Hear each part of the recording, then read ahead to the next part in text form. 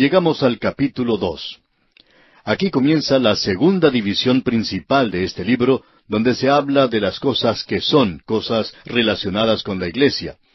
Y vamos a ver qué dice cada uno de estos mensajes que comienza aquí con esta carta a la iglesia en Éfeso. Y la encontramos en los primeros siete versículos, una carta que el Señor Jesús envía a esta iglesia. Probablemente no estemos muy familiarizados con la realidad de que en el primero y el segundo siglos el escribir cartas era una cosa muy común en el Imperio romano. Había una comunicación abundante a través del Imperio romano en aquel período, así es que estas siete cartas del Apocalipsis son muy destacadas por otras razones. Y la más importante es que es una carta directa del Señor Jesucristo a estas iglesias. Por tanto, aquí en el Nuevo Testamento tenemos dos cartas a los Efesios, la epístola que escribió el apóstol Pablo y ahora la que escribe Juan. El Señor Jesucristo es quien la está enviando por medio de Juan. Fue el erudito doctor Adolfo Deisman quien hace ya muchos años hizo una distinción entre las cartas y las epístolas que, en realidad, se ha probado como algo artificial y completamente falso.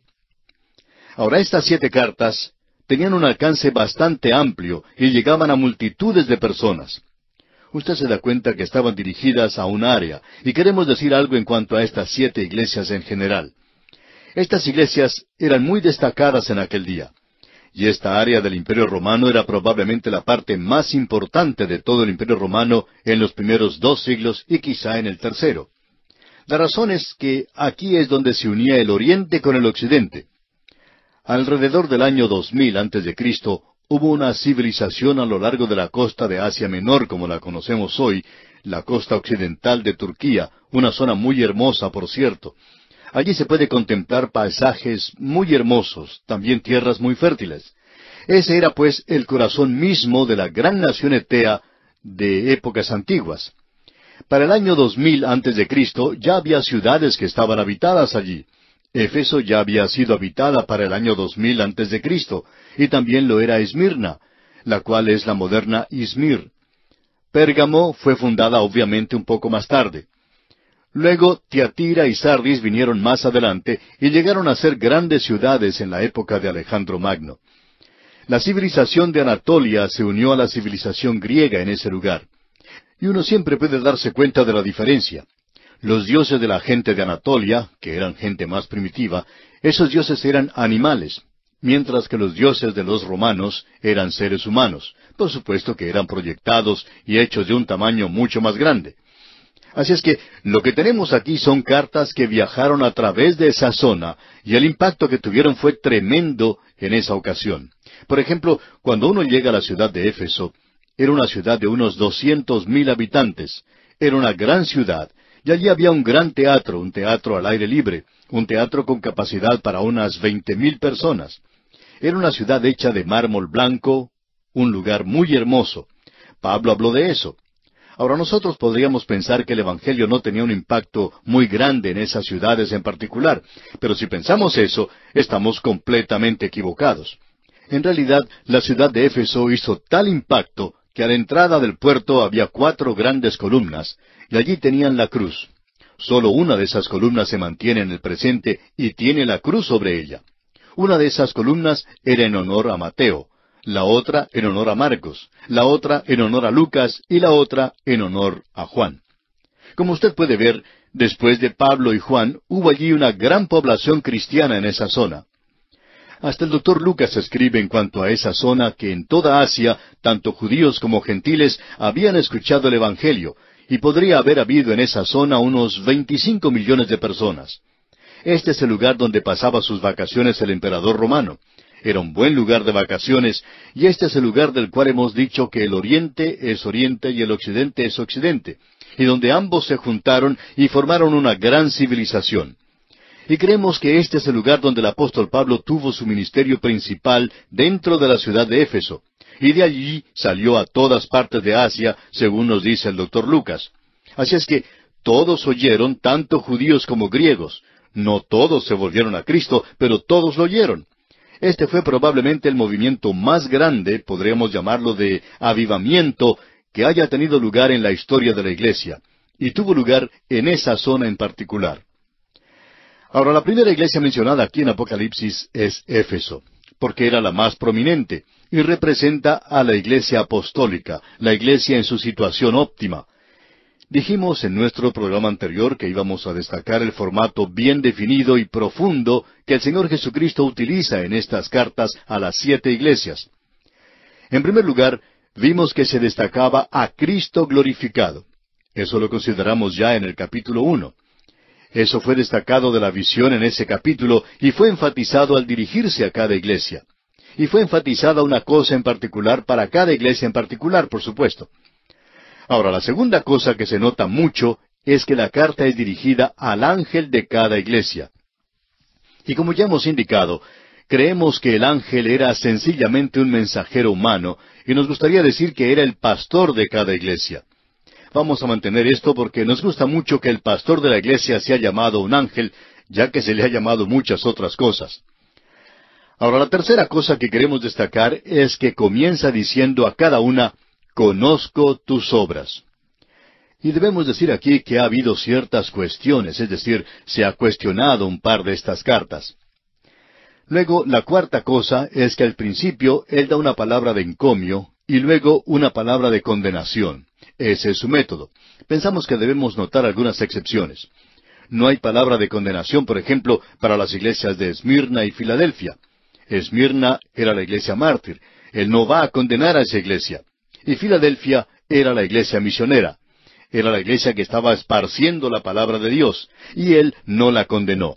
No hay palabra de encomio para la iglesia de la Odisea. Esa es la iglesia apóstata.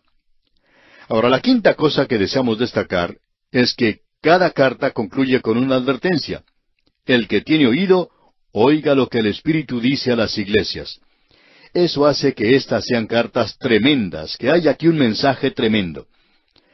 Queremos entrar ahora en el mensaje de esta carta que él escribe a Éfeso. Pero antes debemos decir unas palabras en cuanto a la ciudad de Éfeso, que por cierto era una ciudad muy hermosa. Cuando el apóstol Pablo llegó al puerto, había allí una gran avenida de mármol blanco, y aún existe en el presente. A cada lado había hermosos edificios, templos y muchos negocios donde se podía hacer compras, negocios que hoy las damas utilizan para comprar recuerdos. Hacia la derecha había un gran mercado, y luego más adelante, del lado de la montaña, había un anfiteatro. Y quizá no deberíamos llamarlo anfiteatro, sino un gran teatro donde se podían sentar unas veinte mil personas. Más lejos, hacia la izquierda, había así un gran anfiteatro donde podían sentarse unas cien mil personas. Había ocasiones en las cuales probablemente se podían reunir de uno a dos millones de personas en esa ciudad de Éfeso. Y aquí es donde el apóstol Pablo estuvo con su ministerio principal y donde más tarde Juan llegó a ser pastor. Ahora, los de Anatolia establecieron primero la ciudad alrededor del templo de Diana. Ellos estaban adorando a Diana de los Efesios. Al principio este templo era hecho de madera. Fue construido en primera instancia en un lugar muy bajo, al lado del océano, y el puerto llegaba hasta allí. Con el tiempo, el río Caister y el río Meandro, un río serpenteante pequeño, cuyas aguas bajaban cargadas de lodo y arena, lo cual hace de ese río algo así como una sopa, no agua sencillamente, sino sopa, porque lleva tanto sedimento. Con el tiempo, pues, esos ríos hicieron que pronto se llenara la zona alrededor del templo para la época en que llegó allí Alejandro Magno. Y de paso digamos que la noche en que nació Alejandro Magno se quemó ese templo y luego, cuando él llegó a la ciudad, él sencillamente se la entregó a uno de sus generales llamado Lisímaco.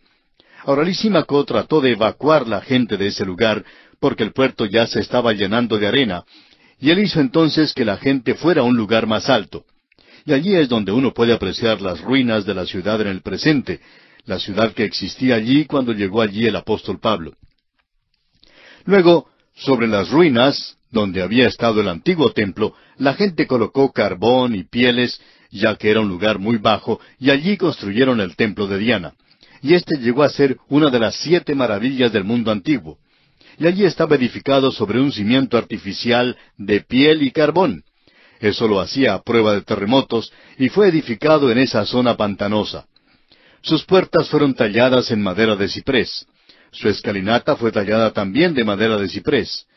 Este lugar era como una galería de arte con obras maestras de Praxíteles, Fidias, Escopas, Policleto y el famoso cuadro de Alejandro Magno por Apeles estaba allí.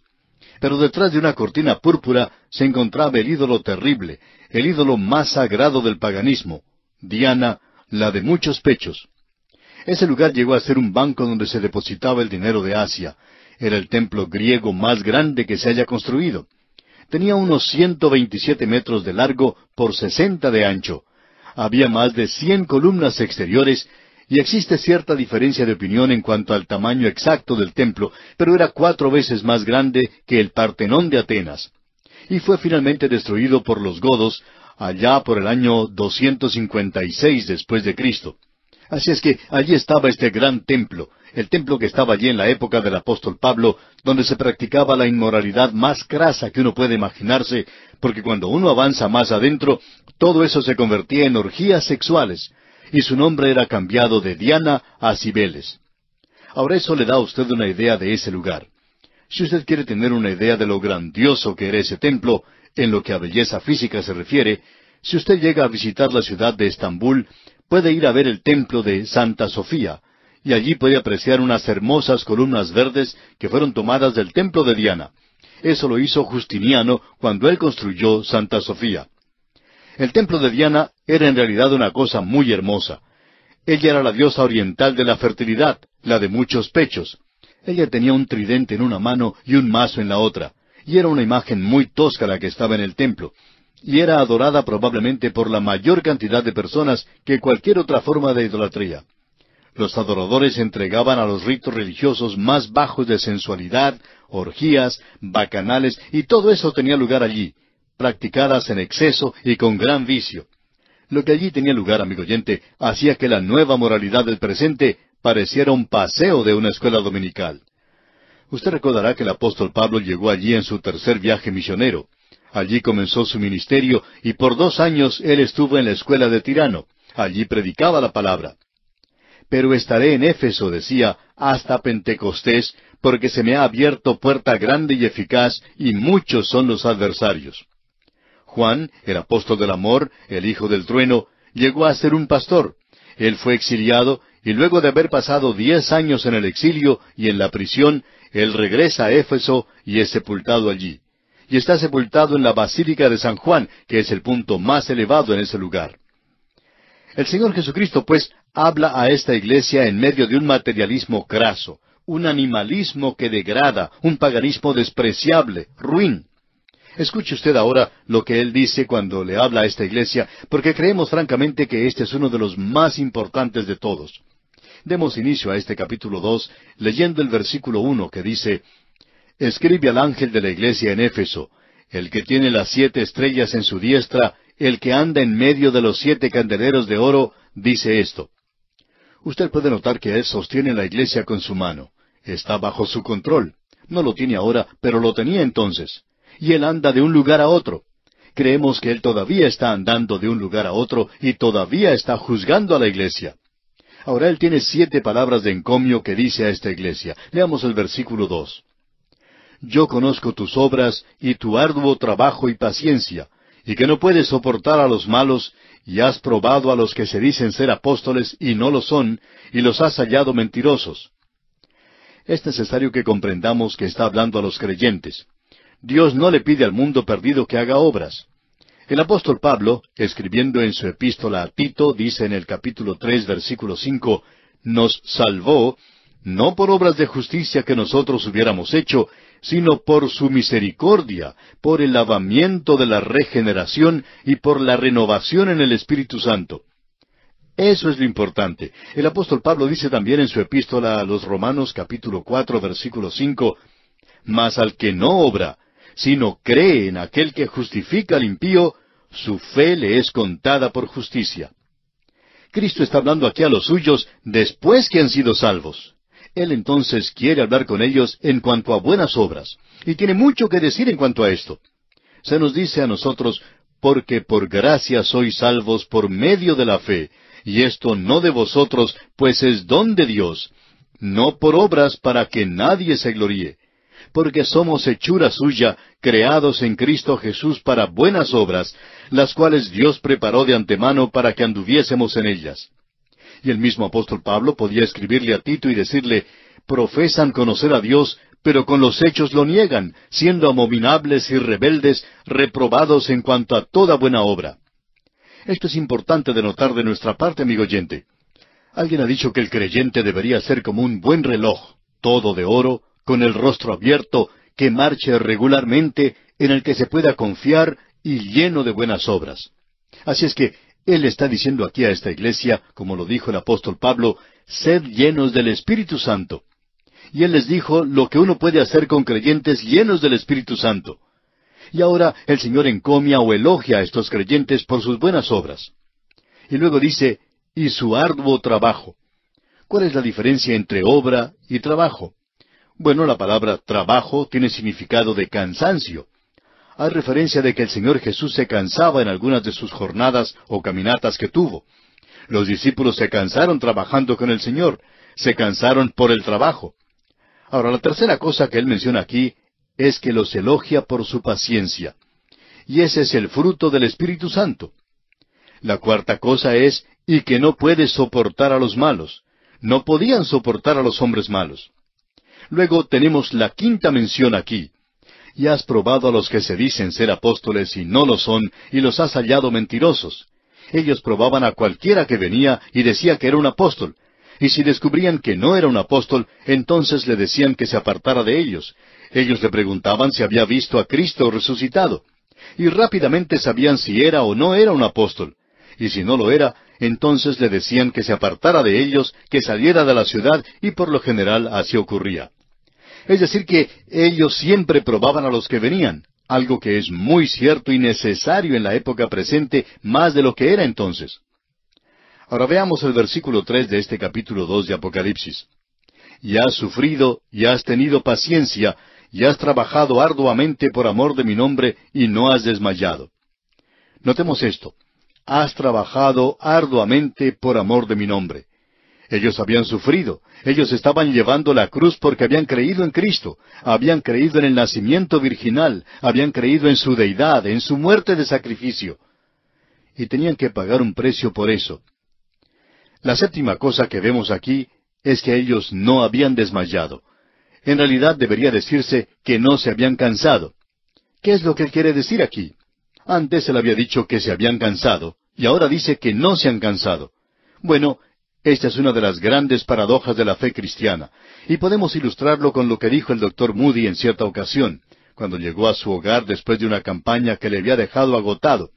Su familia le rogaba que no fuera a la siguiente reunión, y él les dijo, me canso en el trabajo, pero no del trabajo. Y hay mucha diferencia, amigo oyente. Uno puede cansarse en la obra de Cristo, pero es algo trágico si usted se cansa de la obra de Cristo. Estas son las palabras de encomio que él tenía que decirle a la iglesia apostólica. Siete palabras de encomio.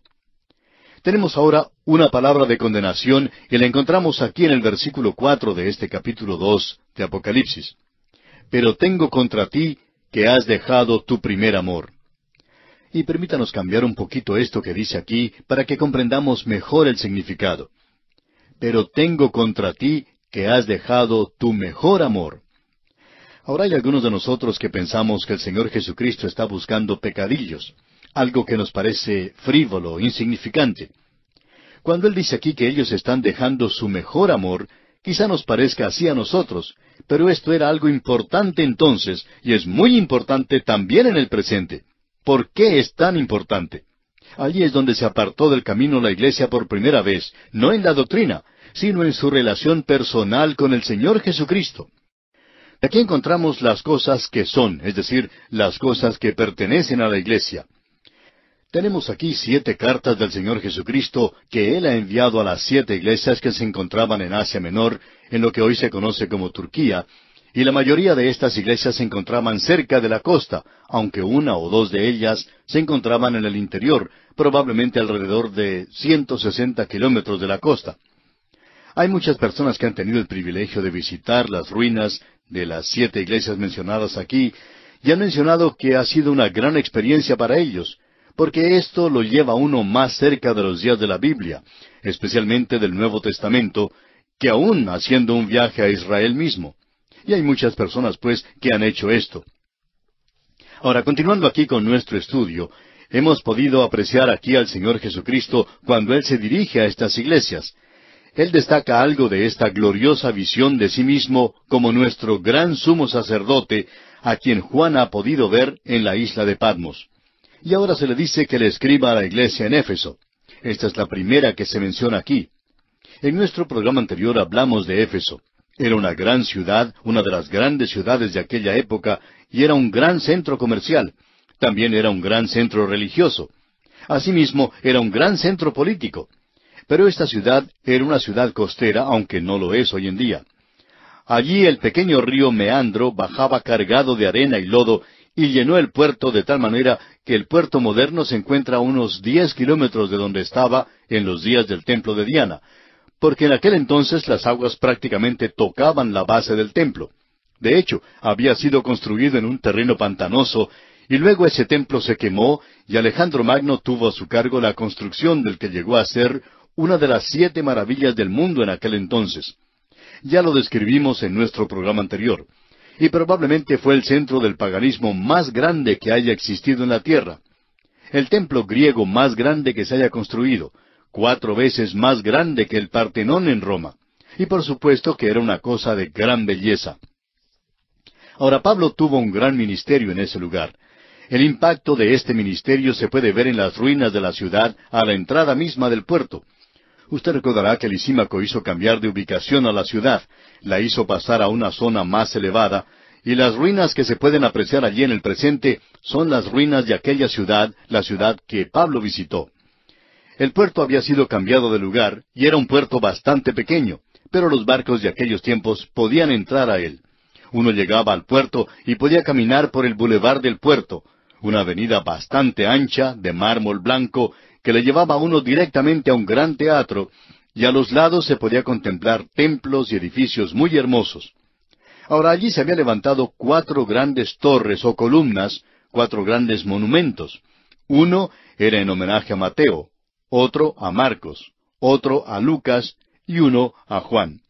Esto demuestra que el Evangelio había tenido un impacto tremendo en esa zona, y hay otras evidencias de eso, donde lo que antes había sido un templo pagano se había convertido en una iglesia, y la iglesia en Éfeso llegó a ser una iglesia muy prominente. Pablo la fundó, y luego Juan el apóstol llegó a ser su pastor. Vimos en nuestro programa anterior que el Señor tenía siete palabras de encomio para esta iglesia fue la mejor de todas. Representa el período apostólico, diríamos hasta el año cien después de Cristo, hasta el tiempo de la muerte de Juan. Era la iglesia en su estado óptimo. Nunca más la iglesia ha alcanzado tal nivel espiritual como el que alcanzó esta iglesia. Y él elogió estas cosas porque eran maravillosas. Él siempre tenía palabras de encomio al principio y luego una palabra de condenación. Pero como ya hemos notado, hay dos excepciones para eso y la podemos ver cuando consideremos la siguiente iglesia que visitaremos. Ahora, en el versículo cuatro tenemos una palabra de condenación. Dice, Pero tengo contra ti que has dejado tu primer amor. Esto parece que fuera algo sin importancia, trivial. ¿Por qué dice esto? Lo que él estaba diciendo en realidad es, ustedes están dejando su mejor amor. Ellos no lo habían hecho aún. Y es algo difícil para nosotros en este día frío e indiferente en el que nos toca vivir, en esta era escéptica y cínica en la que vivimos, donde la iglesia se ve envuelta en las cosas del presente, es decir, que el mundo se ha metido dentro de la iglesia en una forma muy definida. Pero usted y yo hoy, amigo oyente, no podemos concebir la devoción intensa y entusiasta a la persona de Cristo que tenía la iglesia primitiva el Espíritu Santo había llevado a los creyentes en Éfeso a una relación íntima y personal con el Señor Jesucristo, donde ellos podían decirle a Él, y confiamos que usted y yo podamos decir, Señor Jesucristo, yo te amo. Y ellos ahora se estaban apartando de ese primer amor. Y amigo oyente, en Éfeso siempre se podía encontrar atracciones. Era una gran ciudad, y eso estaba comenzando a apartarlos y separarlos. Y era una iglesia que llegó a ser una iglesia muy poderosa en lo que se refiere al evangelismo en toda esa zona, donde había unos veinticinco millones de personas y aún los emperadores romanos y la nobleza de aquel día llegaban a escuchar el Evangelio. Ellos tuvieron la oportunidad de oírlo y pudieron ver la actuación del Espíritu de Dios de una manera tal que probablemente no se ha duplicado desde entonces. Hay algunas personas que han llegado a tener esa relación personal tan cerca del Señor Jesucristo. Por ejemplo, David Brainerd, misionero norteamericano a los indios de los Estados Unidos, quien sufría de tuberculosis, viajaba mucho a lomo de caballo, y a veces él sufría un ataque, una convulsión, vomitaba sangre, perdía el conocimiento y caía de su caballo y quedaba tendido allí sobre la nieve. Cuando esto le sucedía, su caballo permanecía allí a su lado, y cuando él recobraba el conocimiento, volvía a subirse al caballo y a continuar su viaje para predicar a los indios. Y él exclamaba, Señor Jesucristo, yo te he fracasado, te he fallado, pero tú sabes que yo te amo. Nos admira, amigo oyente, ver gente como él en el pasado que han tenido una relación muy personal e íntima con el Señor Jesucristo. Y amigo oyente, eso es de suma importancia aún en el presente. Nosotros no estamos haciendo esto hoy. Es sorprendente y nos llama la atención estos cursillos que toman los creyentes hoy, pero que no llegan a ser de mucha ayuda. Son cosas superficiales nada más. Es como un pequeño sistema legal en el cual uno sigue ciertas reglas, observa ciertas normas psicológicas que le pueden llegar a resolver los problemas a uno. Uno puede llegar a llevarse bien consigo mismo. Y eso es algo sorprendente en sí. Y luego uno puede llevarse bien con sus vecinos, puede llevarse bien con los demás, especialmente con la esposa. Ahora, todas estas cosas son importantes, y hay algunos que tienen estos problemas, y hay muchas personas que piensan que si pueden tener ciertas reglas, que esto les va a resolver ciertas cosas, que va a resolver su vida cristiana. Pero, amigo oyente, permítanos resumirlo en una pregunta. ¿Ama usted al Señor Jesucristo? No interesa cuál sea su sistema, cuál sea la combinación que tenga, cuál sea su programa o cuál sea esa norma que siga. Todas estas cosas llegan a ser completamente nada si usted no ama al Señor. Ahora, si usted le ama, bueno, algunos sistemas son mejores que otros, pero la mayoría de los sistemas van a dar resultado si usted ama al Señor Jesucristo y esto hará que su relación del Señor Jesucristo llegue a ser algo hermoso, maravilloso. Se cuenta la historia de dos jovencitas que trabajaban en una fábrica textil. Una de ellas dejó de trabajar para contraer matrimonio. La otra había dejado de trabajar antes y un día se encontraron en la calle. Había pasado ya mucho tiempo y una de ellas le preguntó a la otra que se había casado, ¿Cómo te va? Y ésta le contestó, Muy bien, ya me casé. Y la otra le preguntó, ¿Estás trabajando todavía? Y entonces la otra contestó, No, no estoy trabajando, me he casado. Esta joven, la que se casó, cuando trabajaba en la fábrica textil, siempre estaba observando el reloj, y cuando llegaba la hora de salir, ella dejaba ese lugar apresuradamente. Ese trabajo era bastante duro y a ella no le gustaba. Pero ahora se ha casado. ¿Y está trabajando? Ella dice que ha dejado de trabajar, que se ha casado. Pero amigo oyente, usted puede apreciar que ahora ella se ha casado, se levanta temprano para preparar el desayuno para su esposo, prepara la comida que él debe llevar a su trabajo, y ella tiene que madrugar para hacer todo esto. Luego se despide de él y tiene que trabajar todo el día cuidando los dos hijos que tiene. Unos angelitos, son suyos y la mantienen muy ocupada. Luego llega la hora de preparar la cena y ella se entrega a esa labor. No deja de trabajar comienza a preparar la comida. Luego regresa a su esposo por la noche y ella se encuentra a la puerta, le abraza y le dice cuánto le ha extrañado durante ese día. Y amigo oyente, cuando usted regresa a su hogar en horas de la noche, cansado de trabajar, y a la puerta no hay nadie que le reciba, y cuando usted abre la puerta de la casa y por allá de adentro escucha una voz que le dice, ¿Eres tú? Pues usted sabe muy bien que se acabó la luna de miel. Pero esta muchacha, ve usted, está enamorada. Ella dice que ya no está trabajando más. Pero ella no deja de trabajar a las cinco de la tarde, sino que tiene que continuar haciéndolo sin horario fijo. Tiene que alimentar a los hijos, ponerlos en la cama, y son cosas que no son fáciles. Y ella queda bastante cansada y fatigada cuando finalmente puede ir a dormir. Pero esta muchacha no está trabajando, ¿ve usted? Y esa es la diferencia, amigo oyente, el amor. Y amigo oyente, cuando la obra en la iglesia llega a ser una carga pesada, hay algo que anda mal en su relación con Cristo. Pero cuando usted arregla eso, entonces todas las demás cosas se arreglan también.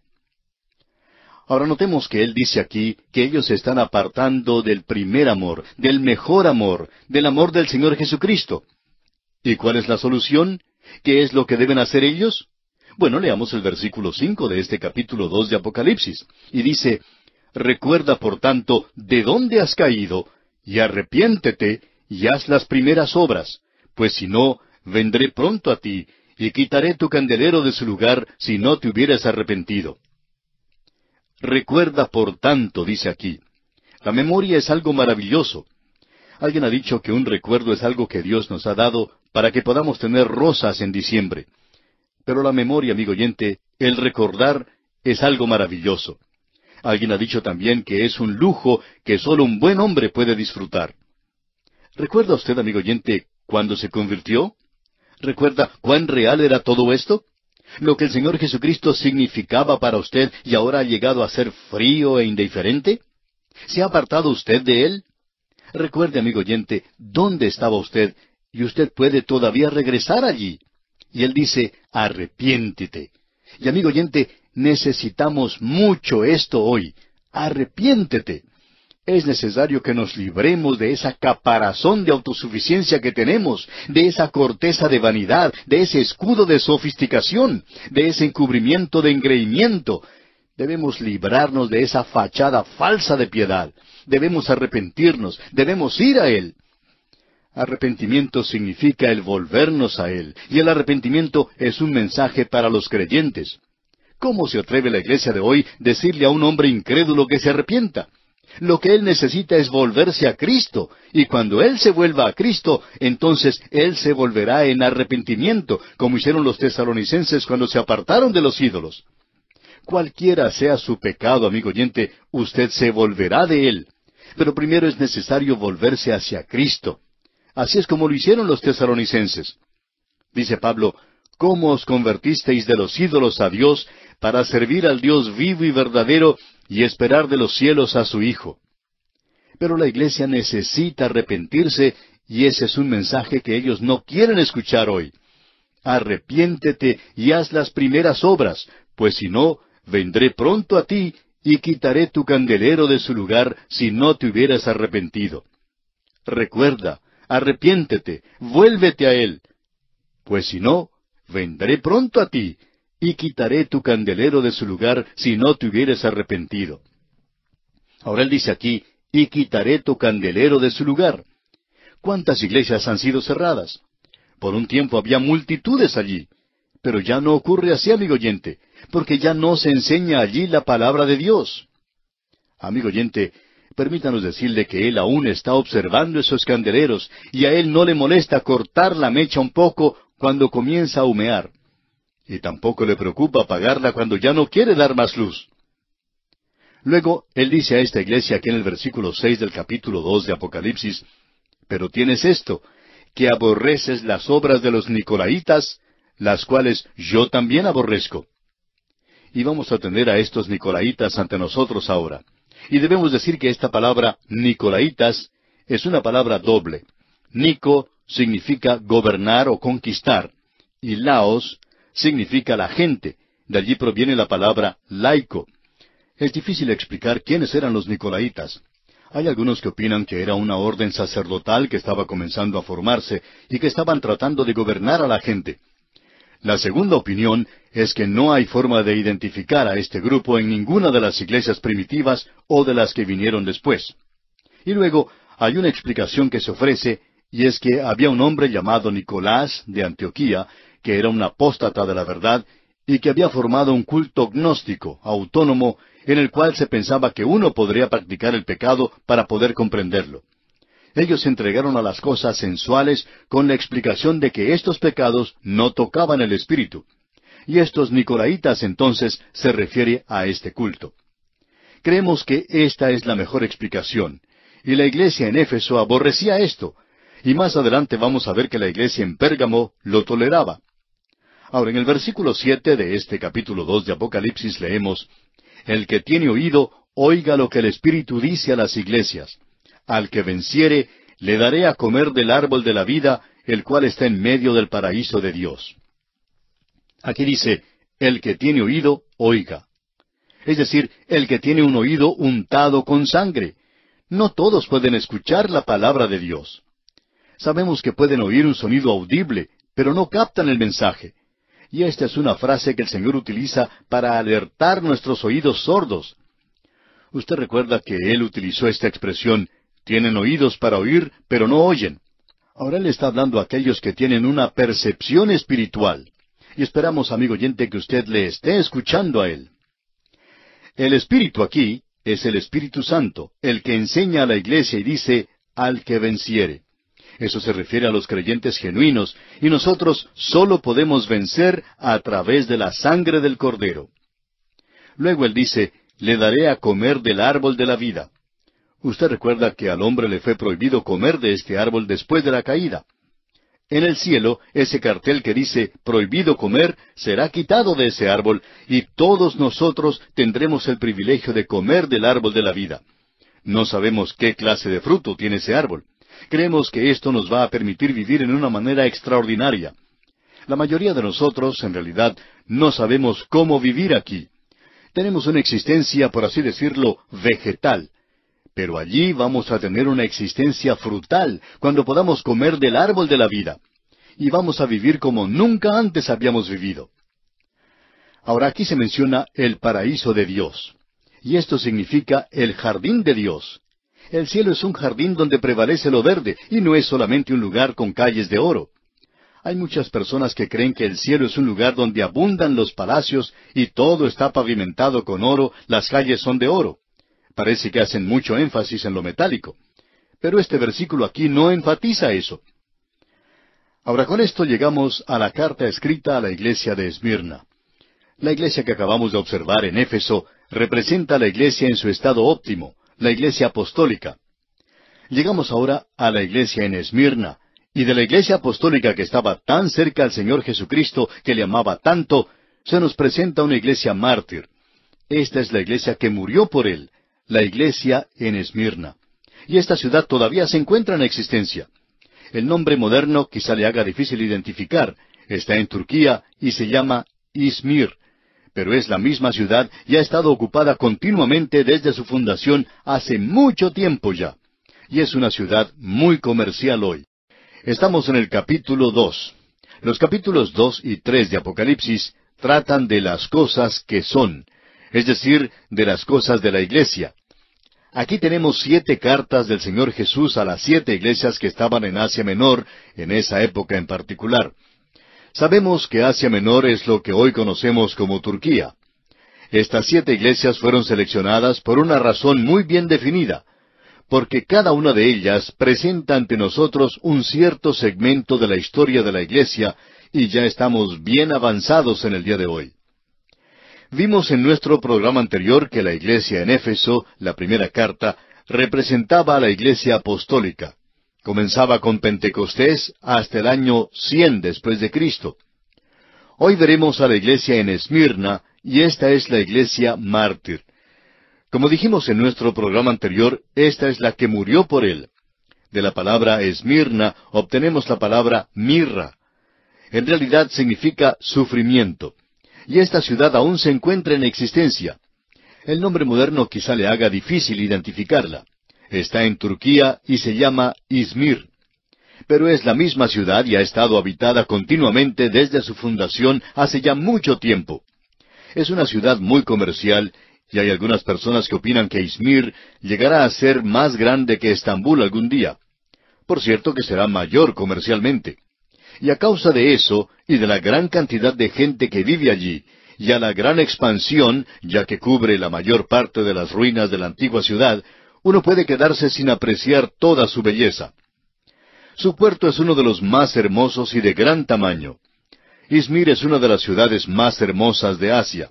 Se le llama una flor, una corona, un adorno, y ha sido llamada la corona de toda Asia. La Acrópolis se encuentra en el monte Pagus. El comienzo de la ciudad se remonta al año 2000 antes de Cristo, y era entonces una ciudad de Tea en las laderas del monte Pagus, y más tarde fue edificada por Alejandro Magno. Él tuvo mucho que ver con la edificación de esta ciudad. La ciudad tenía grandes y hermosos bulevares o avenidas a lo largo de las laderas del monte Pagus. Y en la cumbre se encontraba la ciudad. Se la llamaba la ciudad coronada porque estaba rodeada por una hilera de flores y de árboles de rayán. Estaba adornada por hermosos templos y elegantes edificios. Allí se podía ver el templo de Zeus, el templo de Cibeles, que no era otra sino Diana, y un templo de Afrodita y Apolo. Izmir también tenía un teatro y un audium, es decir, un centro musical. Era la cuna de la música y también había allí un estadio. Y fue en ese estadio que Policarpo, un estudiante del apóstol Juan, y que por supuesto le conocía, que era obispo de Esmirna, fue martirizado allí en ese estadio cuando le quemaron vivo en el año 155 después de Cristo.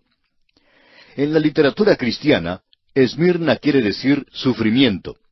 Al escribir a esta iglesia, San Juan dijo, o mejor, el Señor Jesucristo dijo por medio del apóstol Juan, Conozco tu tribulación y tu pobreza.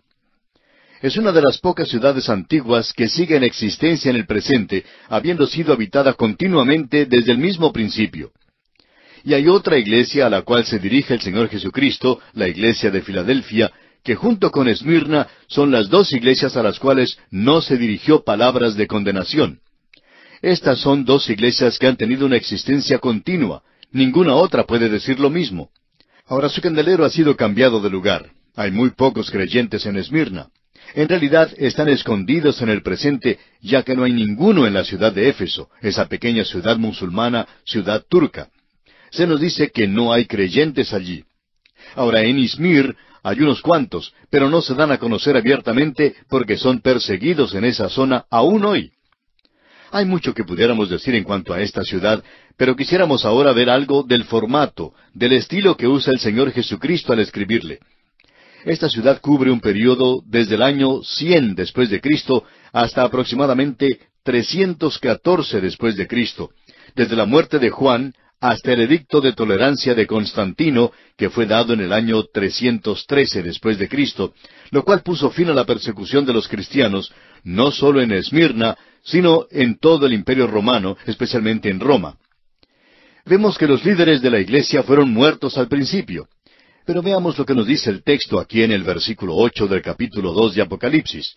Y aquí tenemos al Señor Jesucristo dirigiéndose a esta iglesia, y es un mensaje muy breve, de encomio en su totalidad. Leamos el versículo ocho. Y escribe al ángel de la iglesia en Esmirna, el primero y el postrero, el que estuvo muerto y vivió, dice esto. Esta carta es enviada al mensajero de la iglesia en Esmirna. El Señor Jesucristo tomará de esa visión de las cosas que has visto, el Cristo glorificado, nuestro gran sumo sacerdote entre los candeleros de oro, Él tomará una de las descripciones y una de las cosas que se han dicho en cuanto a Él para dirigirse a cada iglesia. Y creemos que cada una de ellas tiene una referencia particular para la iglesia. Y Él escogió de la visión de sí mismo esto, el primero y el postrero, el que estuvo muerto y vivió. Bueno, el primero y el postrero quiere decir que no hubo nada antes de Él y que no habrá nada después de Él. Él es quien tiene a su cargo la declaración final de todas las cosas.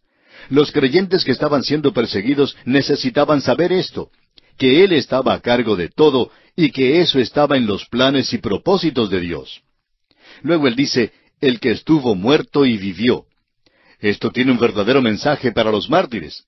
Habla de la muerte y resurrección de Cristo y su experiencia con la muerte lo identifica con cinco millones de creyentes que fueron martirizados durante ese período. El comentarista Fox dice que hubo cinco millones de personas que murieron como mártires durante ese período. Pero el Señor Jesucristo triunfó sobre la muerte y Él puede salvar hasta más no poder a aquellos que están soportando persecución y martirio. Y ahora Él tiene algo que decirle aquí en los versículos nueve y diez de este capítulo dos de Apocalipsis. Dice, Yo conozco tus obras y tu tribulación y tu pobreza, pero tú eres rico. Y la blasfemia de los que se dicen ser judíos y no lo son, sino sinagoga de Satanás. No temas en nada lo que vas a padecer. He aquí, el diablo echará a algunos de vosotros en la cárcel para que seáis probados y tendréis tribulación por diez días sé fiel hasta la muerte, y yo te daré la corona de la vida.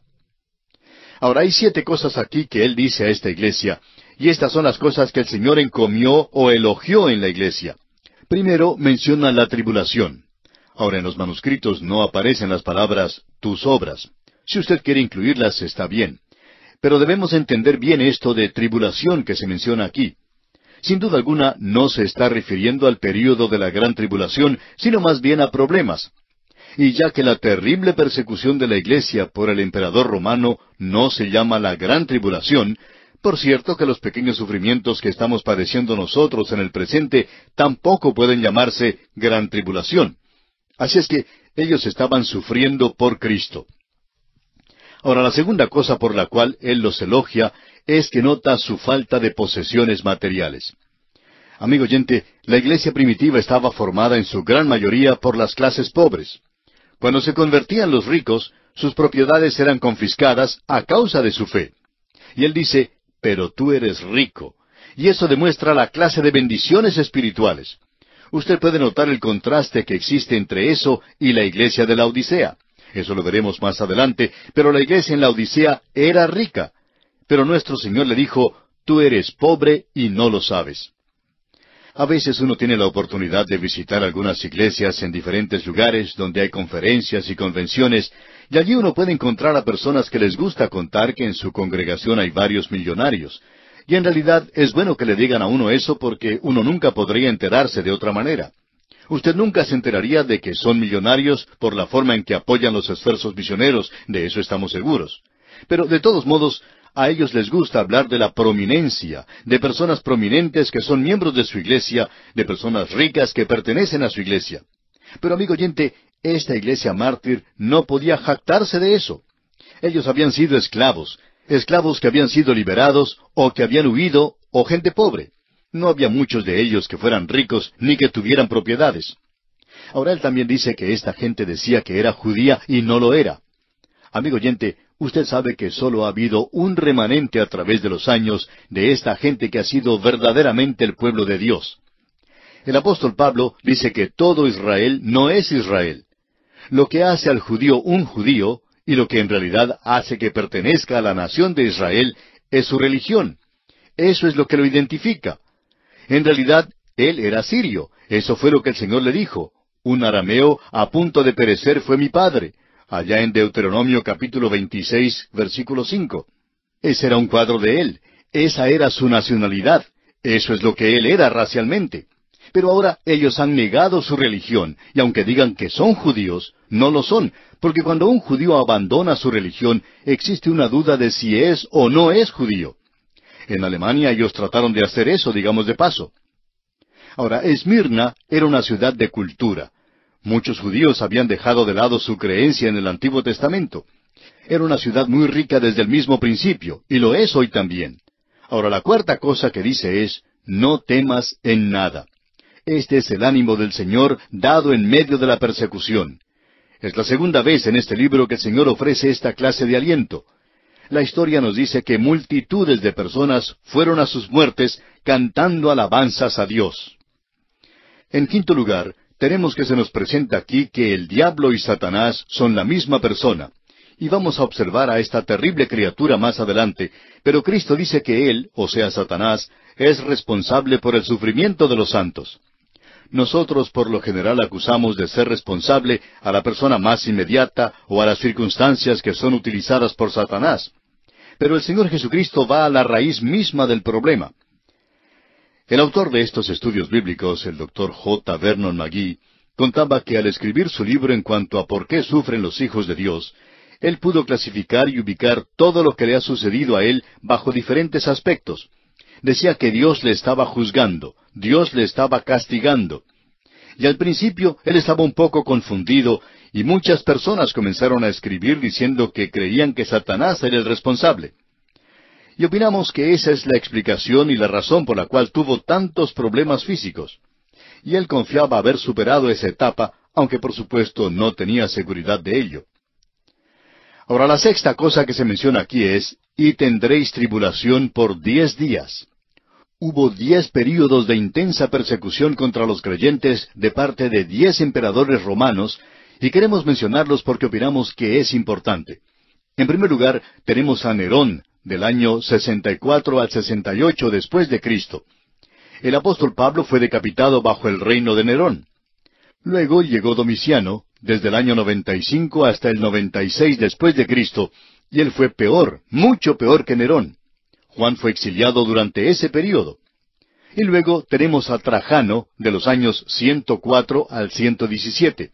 Fue entonces cuando Ignacio fue muerto en la hoguera. Luego, Marco Aurelio, de los años 161 al 180. Policarpo fue martirizado en ese período. Tenemos después a Severo, no vamos a dar más fechas en cuanto a esto. Y luego Maximiano, Decio, Valeriano, Aureliano y finalmente Diocleciano en los años 303 al 313. Y él fue el peor emperador de todos. Aquí tenemos pues a diez emperadores romanos que encabezaron una terrible persecución de los creyentes. Luego, la séptima cosa que él menciona es, sé fiel hasta la muerte. Esto indica que ellos eran mártires. Ellos fueron fieles hasta la misma muerte. Y él dice que les va a dar la corona de la vida. Esta es una corona especial para aquellos que sufren. Es muy interesante notar que el Señor tiene coronas especiales. Conocemos a muchos santos maravillosos que van a recibir esa corona algún día. Y queremos decirle a aquellos que nos escuchan hoy que si usted se encuentra en un lecho de dolor, quizá puede ser una persona paralizada, y se ha preguntado estas cosas. Bueno, aquí tenemos algo que se menciona que será bueno para usted algún día. Va a recibir algo que ninguna otra persona recibirá, con excepción de quienes se encuentran en su propio grupo, por supuesto. Santiago dice allá en su epístola capítulo uno versículo doce Bienaventurado el varón que soporta la tentación, porque cuando haya resistido la prueba, recibirá la corona de vida que Dios ha prometido a los que le aman y esa corona de la vida indica que la disfrutará algún día a lo sumo. ¿Qué cosa más gloriosa le espera a aquellos de los oyentes que son inválidos hoy, que se encuentran en lechos de dolor y enfermedad? Quiera Dios bendecirle, amigo oyente, porque es cosa muy gloriosa esta esperanza. Luego el versículo once de este capítulo dos de Apocalipsis dice, El que tiene oído, oiga lo que el Espíritu dice a las iglesias. El que venciere no sufrirá daño de la segunda muerte. ¿Le está escuchando usted a él hoy, amigo oyente? ¿Le está hablando él a usted? El que venciere no sufrirá daño de la segunda muerte. Dwight L. Moody lo expresó de la siguiente manera. Aquel que ha nacido una vez tiene que morir dos veces. Aquel que ha nacido dos veces solo debe morir una vez. Y quizá ni siquiera tenga que morir una vez. No sufrirá daño de la segunda muerte. Esa es la muerte que ningún creyente va a experimentar. La primera muerte es relativa al cuerpo. La segunda muerte es el alma y el espíritu, una separación eterna de Dios.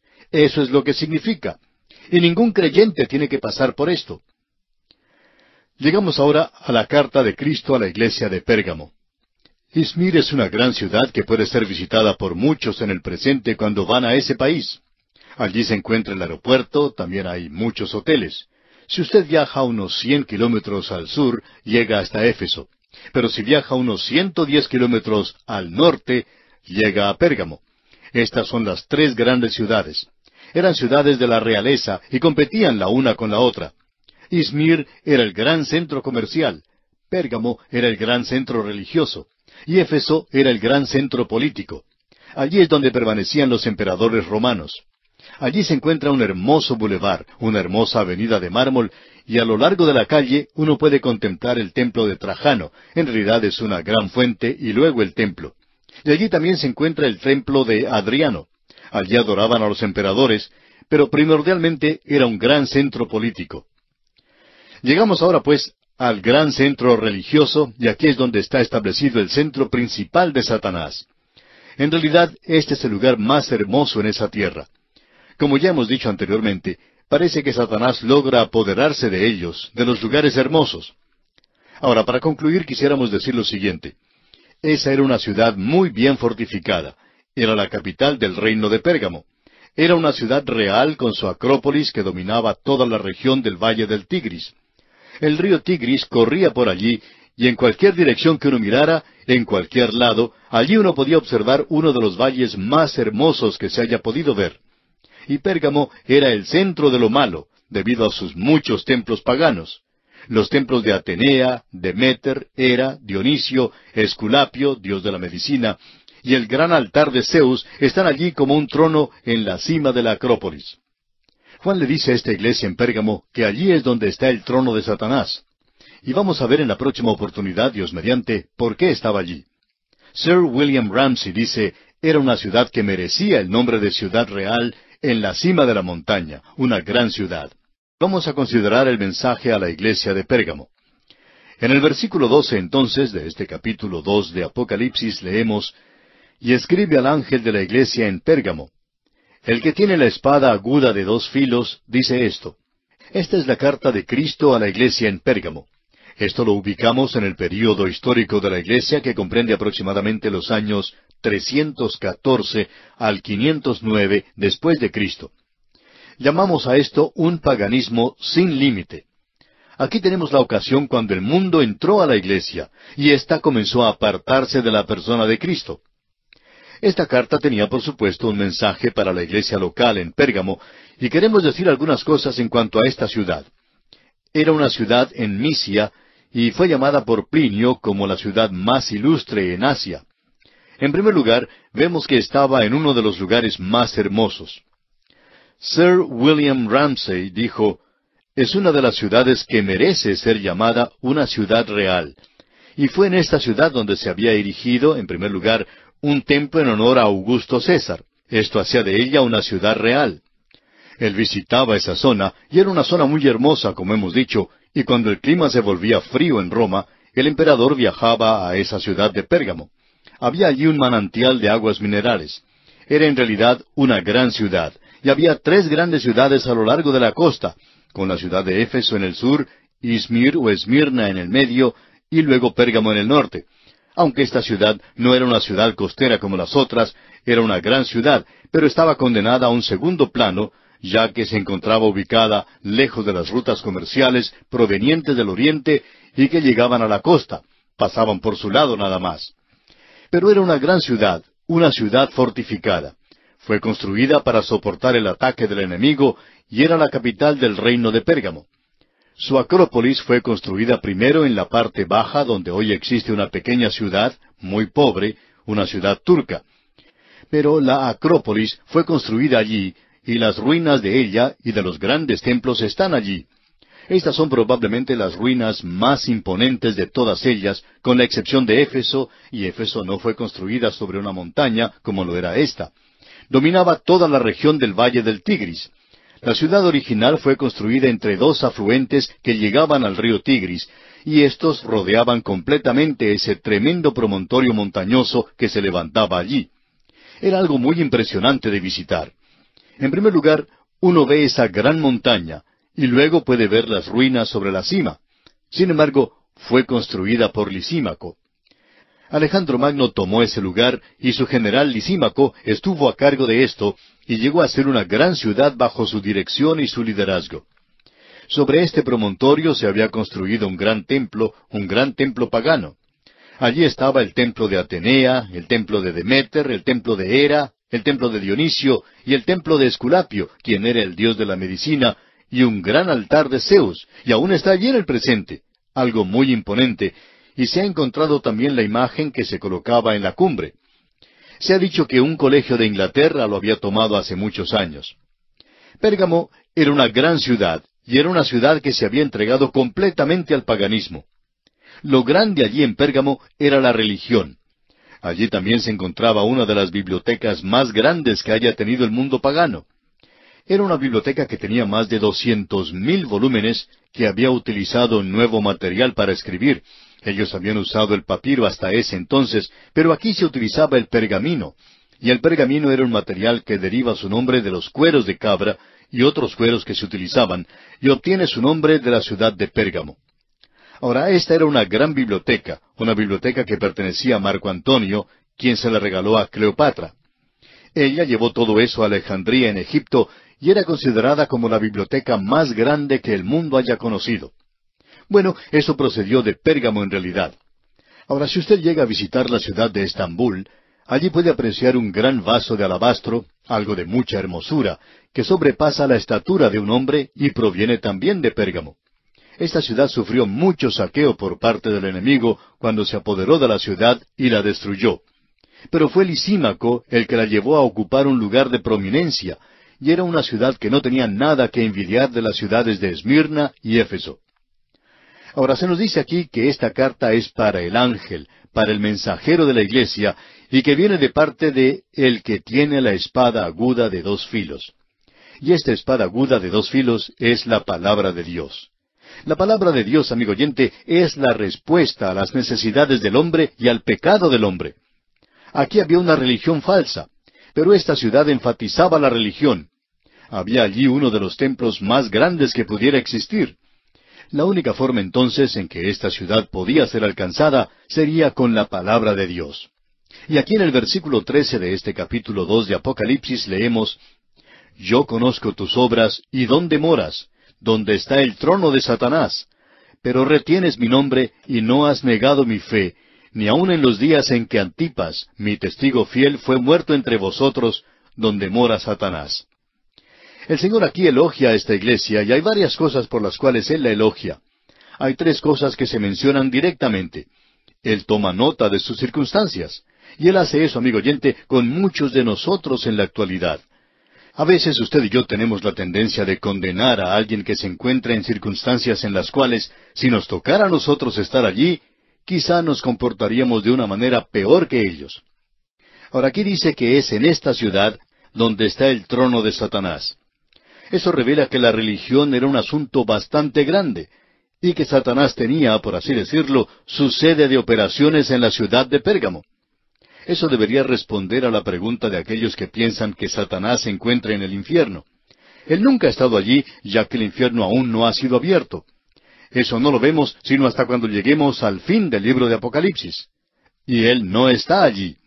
Él anda de un lugar a otro en este mundo buscando a quién devorar, pero él tiene, por así decirlo, su sede central. En esta ocasión se encontraba en Pérgamo. Y vamos a ver por qué se encontraba normalmente este centro de operaciones en Pérgamo. Desde entonces él ha cambiado este centro de operaciones a diferentes lugares. No sabemos exactamente dónde está ubicado en el presente. Hay algunas ciudades que son el centro de muchas religiones, de muchos cultos y sectas, tantos como es posible tener. Pero aquí en esta ciudad de Pérgamo, él tenía todo esto, y queremos mencionar por qué creemos que se encontraba el trono de Satanás en esta ciudad. La razón para esto es a causa de estos templos paganos que se encontraban allí, y digamos de paso que eran bastante interesantes. El templo de Atenea era bastante imponente. Al entrar por la puerta de la ciudad es el primer templo a su mano izquierda. Sobre él se encontraba esta gran biblioteca. Luego usted encuentra que allí había los grandes templos de Augusto César, el templo de Adrián, y este templo de Adrián cubre bastante terreno en ese lugar. Allí había otras cosas que eran muy interesantes. Allí se encuentra ese gran altar a Zeus con su ídolo. Estaba fuera de las puertas de la ciudad y muy cerca de donde se encontraba el palacio del rey, un lugar muy imponente también, y algunos creen que se encontraba ubicado allí el trono de Satanás. Bueno, pensamos que esto tiene algo que ver con eso, pero aquí tenemos una combinación de todas estas cosas. Pero aquí también opinamos que hay otras dos que son especialmente imponentes. Una de ellas es el templo de Dionisio.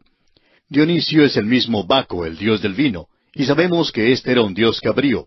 Tenía cuernos, tenía la parte superior de hombre y la parte inferior de cabra. Tenía pezuñas y una cola. Y esa es la idea moderna que se tiene de Satanás. Pero uno no saca eso de la Biblia. Hoy se piensa que Satanás tiene cuernos, que tiene pezuñas y que tiene una cola. Pero ¿de dónde salió eso? Viene del templo de Dionisio. Viene del dios Baco, el dios del vino, el dios del alcohol. El alcohol ha jugado una parte muy importante en la conquista de muchos territorios. Este es un cuadro de Satanás. Ahora, el otro dios que se presentaba era Esculapio. A cierta distancia de este promontorio se encontraba el hospital más grande del mundo antiguo. En primer lugar, era un templo a Esculapio. Y si uno observa al Esculapio griego, es un hombre. Pero cuando uno observa al oriental, es una serpiente. Y allí en Pérgamo es una serpiente. Uno puede contemplar allí reliquias de mármol y aparentemente algunas eran pilares en el templo, en el templo de Esculapio. Era un templo un poco fuera de lo común, de forma circular.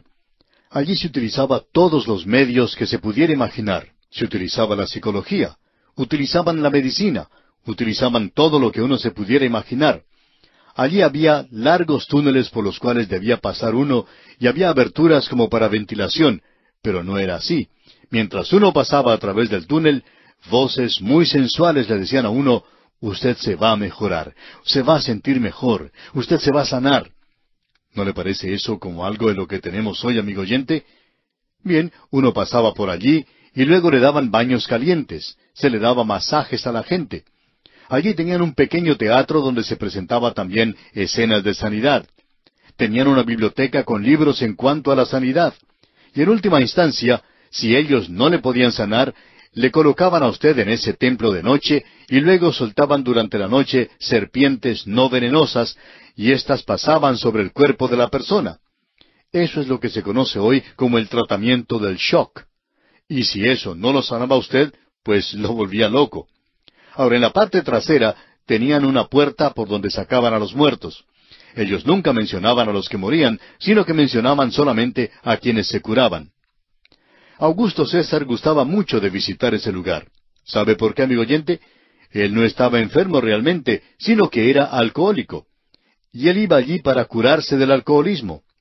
Ese pues era un gran lugar, y por setecientos años fue un hospital al cual iba la gente de todas partes del mundo.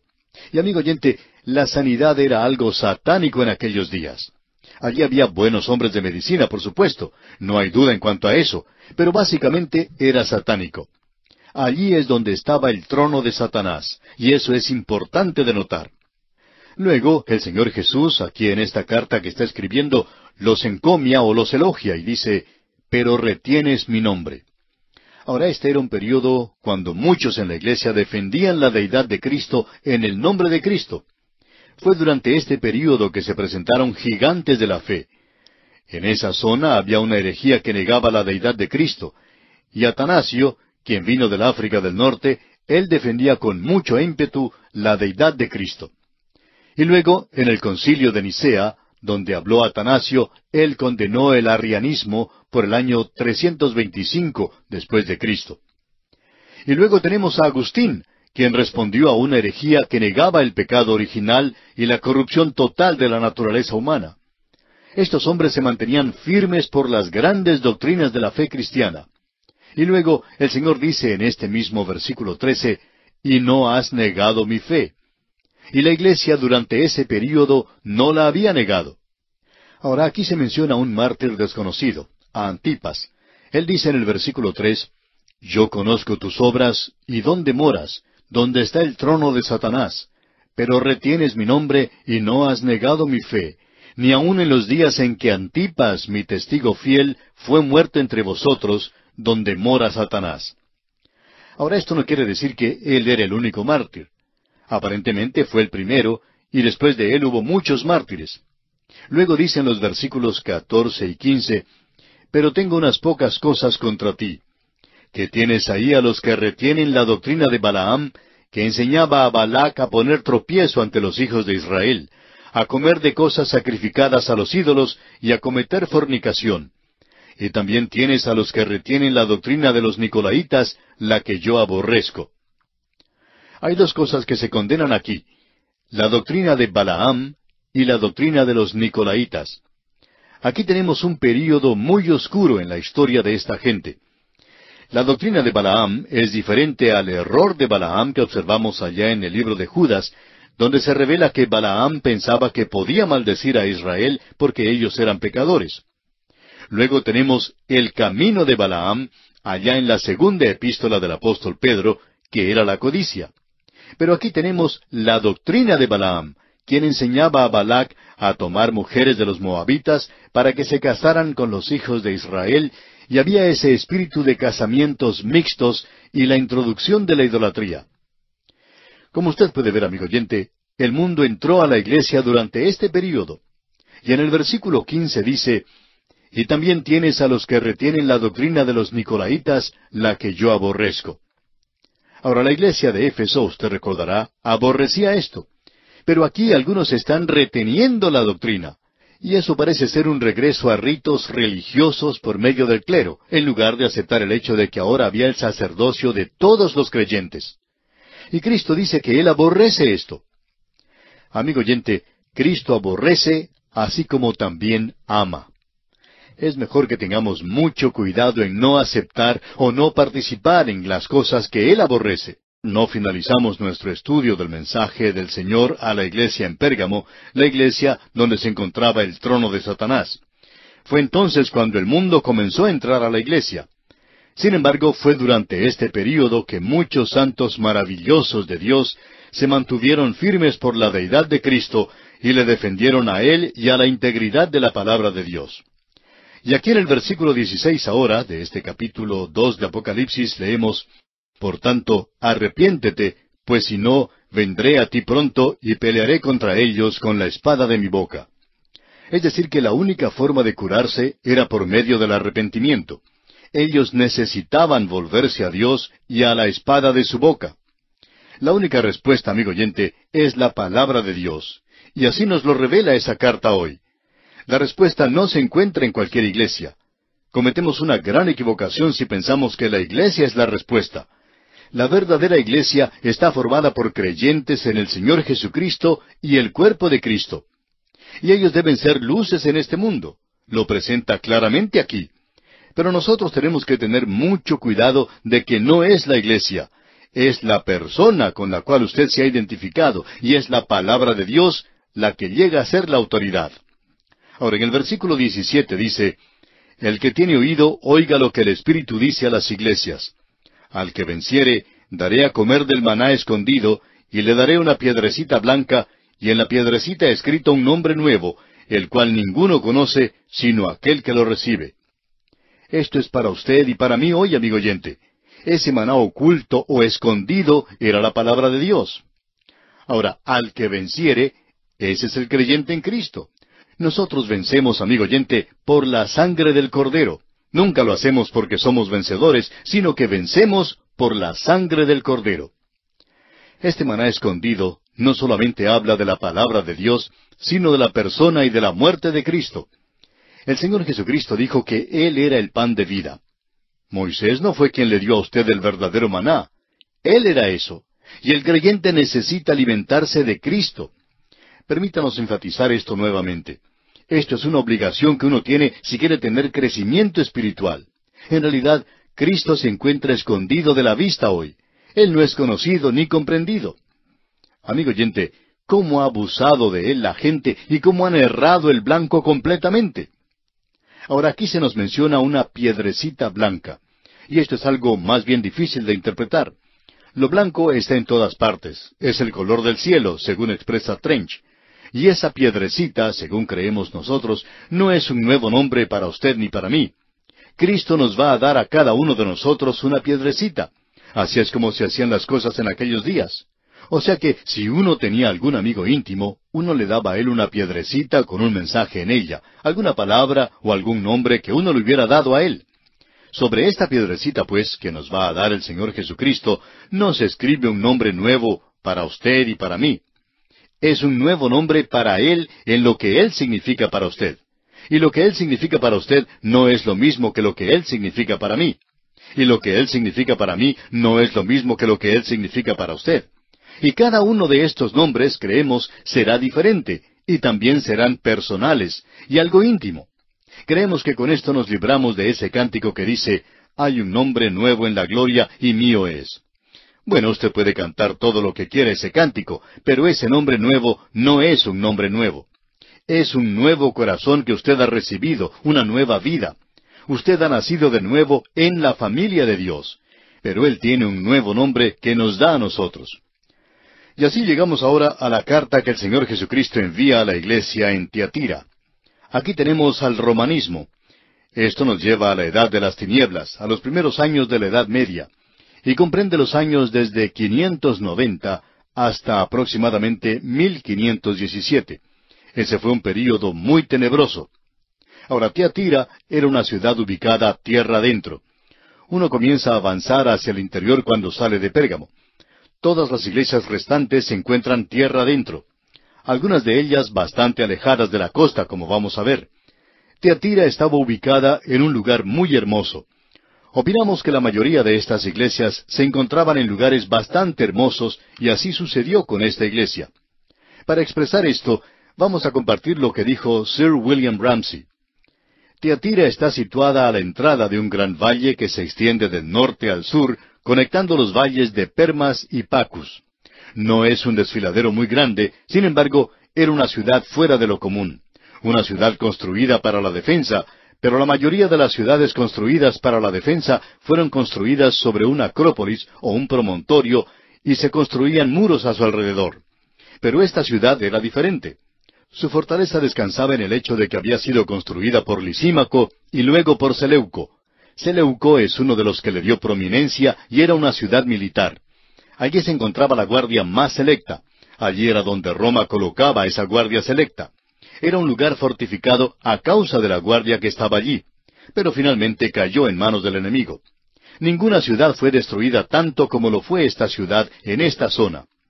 Y luego fue reedificada de tal manera que uno puede apreciar muy poco de sus ruinas. Es un poco desanimador el tratar de ver las ruinas de Tiatira, porque solamente tienen una cuadra de extensión y una cuadra muy pequeña. Esta ciudad era el centro de muchos gremios antiguos, los alfareros, los curtidores, los tejedores, los sastres, los tintoreros, todos tenían allí sus centros principales. De paso, digamos que allí es donde se originaron los sindicatos. Debemos recordar que Lidia, con la cual se encontró el apóstol Pablo en Filipos, venía de Teatira. Ella era una vendedora de púrpura, y ese color es un color rojo vivo. Era tomado de una planta que crecía en esa zona. Apolo era el dios griego y romano del sol, y por esto se le llamaba a veces Zeus. Veamos ahora lo que nos dice el versículo 18 de este capítulo 2 de Apocalipsis. Y escribe al ángel de la iglesia en Tiatira, el Hijo de Dios, el que tiene ojos como llama de fuego y pies semejantes al bronce bruñido, dice esto. Esto también nos habla de juicio como veremos más adelante. Ahora él tiene una palabra de encomio para esta iglesia. Y si usted es uno de los que piensan que el catolicismo romano debe ser condenado completamente, creemos que es necesario fijarse en lo que dice la historia. El Señor Jesucristo dice aquí en el versículo 19 de este capítulo 2 de Apocalipsis, Yo conozco tus obras, y amor, y fe, y servicio, y tu paciencia, y que tus obras postreras son más que las primeras. Él dice, Yo conozco tus obras. Y aquí tenemos seis palabras de encomio para esta iglesia en la edad de las tinieblas. Y las obras son en realidad credenciales de los verdaderos creyentes. El siervo de Dios, Santiago, dice, Muéstrame tu fe sin tus obras, y yo te mostraré mi fe por mis obras. Había muchos que vivían vidas sin manchas, y por medio de sus buenas obras ellos adornaban la doctrina de Dios. Luego dice, y amor. Era una iglesia que tenía amor en ella, a pesar de que se había entregado a la liturgia, al ritualismo. No había muerto completamente durante esa época de tinieblas. Y hubo algunos maravillosos santos de Dios en ese período. Bernardo de Clairvaux, Pedro de Baldo, Juan Wycliffe, Juan Hoss, Jerónimo Savonarola, San Anselmo, todos estos hombres pertenecían a la iglesia romana. Ahora, aquí él menciona su fe, y la menciona en esta instancia después de sus obras y de su amor, porque es el impulso principal que hace mover las manos de las obras y del amor. Y luego se menciona el servicio. Después, paciencia. Y esto es debido a que ellos soportaron estas cosas durante estos días de tinieblas. Y luego dice, tus obras postreras son más que las primeras. Y debemos decir que en esta iglesia las obras incrementaron en lugar de disminuir. Estas cinco virtudes son producidas dentro de los creyentes por el Espíritu Santo. Luego tenemos una acusación terrible de condenación. Y en el versículo veinte de este capítulo dos de Apocalipsis dice el Señor, Pero tengo unas pocas cosas contra ti, que toleras que esa mujer Jezabel, que se dice profetiza, enseñe y seduzca a mis siervos a fornicar y a comer cosas sacrificadas a los ídolos. Este fue un período cuando esta mujer Jezabel hizo entrar el paganismo al reino del norte de Israel. Y este fue el período cuando la iglesia se expandió a través de Europa. Y las prácticas idólatras y paganas se mezclaban con las obras cristianas y también con la adoración. Este fue un período que introdujo ritos y doctrinas en la iglesia que reemplazó a una fe personal en Jesucristo con cosas litúrgicas. Y de la misma manera en que Jezabel le dio muerte a Nabot y persiguió a los profetas de Dios, así también la iglesia instituyó un método para aniquilar a sus opositores durante este período. Y hay otras cosas que quisiéramos decir, amigo oyente, pero como usted comprenderá, no podemos hacerlo en este programa. Por eso es que creemos que es importante y esencial que usted obtenga las notas y bosquejos que ofrecemos para que se entere en más detalle de lo que decimos aquí. Ahora, seducir aquí significa una separación fundamental de la verdad. Esa es la interpretación que le da Vincent. Podemos notar también el gran contraste que existe entre Jezabel y Lidia, quien vino de Teatira. Jezabel no es otra cosa sino un precursor de la iglesia apóstata, como vamos a ver en el capítulo 17 de Apocalipsis. Ahora, en el versículo 21 de este capítulo 2 de Apocalipsis, dice el Señor, Y le he dado tiempo para que se arrepienta, pero no quiere arrepentirse de su fornicación. No ha habido ningún cambio a través de los siglos en este sistema. Luego, en el versículo 22 leemos, He aquí, yo la arrojo en cama y en gran tribulación a los que con ella adulteran, si no se arrepienten de las obras de ella. Gran tribulación puede referirse a la persecución que está soportando Roma. También puede significar la gran tribulación a la cual irá la iglesia apóstata. Luego en el versículo 23 dice, Y a sus hijos heriré de muerte, y todas las iglesias sabrán que yo soy el que escudriña la mente y el corazón, y os daré a cada uno según vuestras obras. Aquí se habla de los hijos que fueron llevados a ese sistema, y se refiere a la segunda muerte.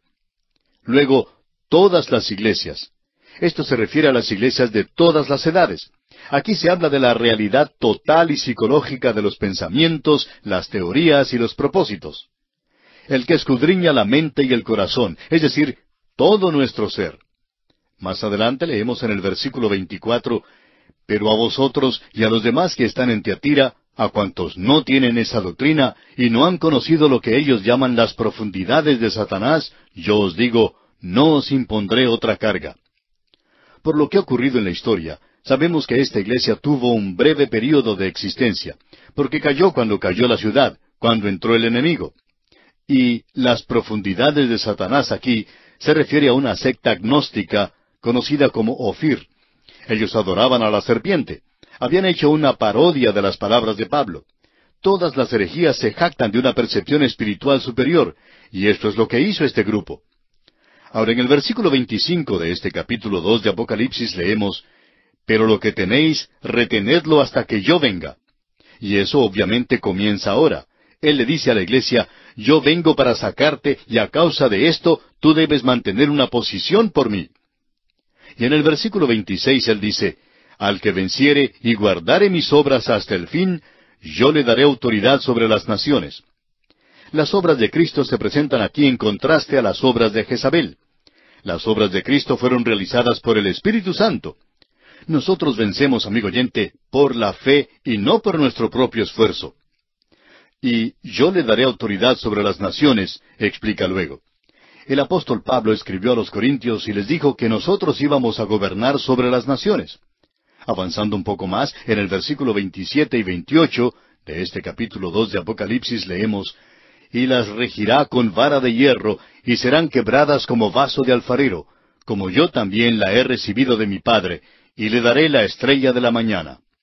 Ahora, la estrella de la mañana aquí se refiere a la esperanza de la iglesia hoy cuando ocurra el rapto de la iglesia, él viene a llevarse a los suyos, aguardando la esperanza bienaventurada y la manifestación gloriosa de nuestro gran Dios y Salvador Jesucristo, dice el apóstol Pablo.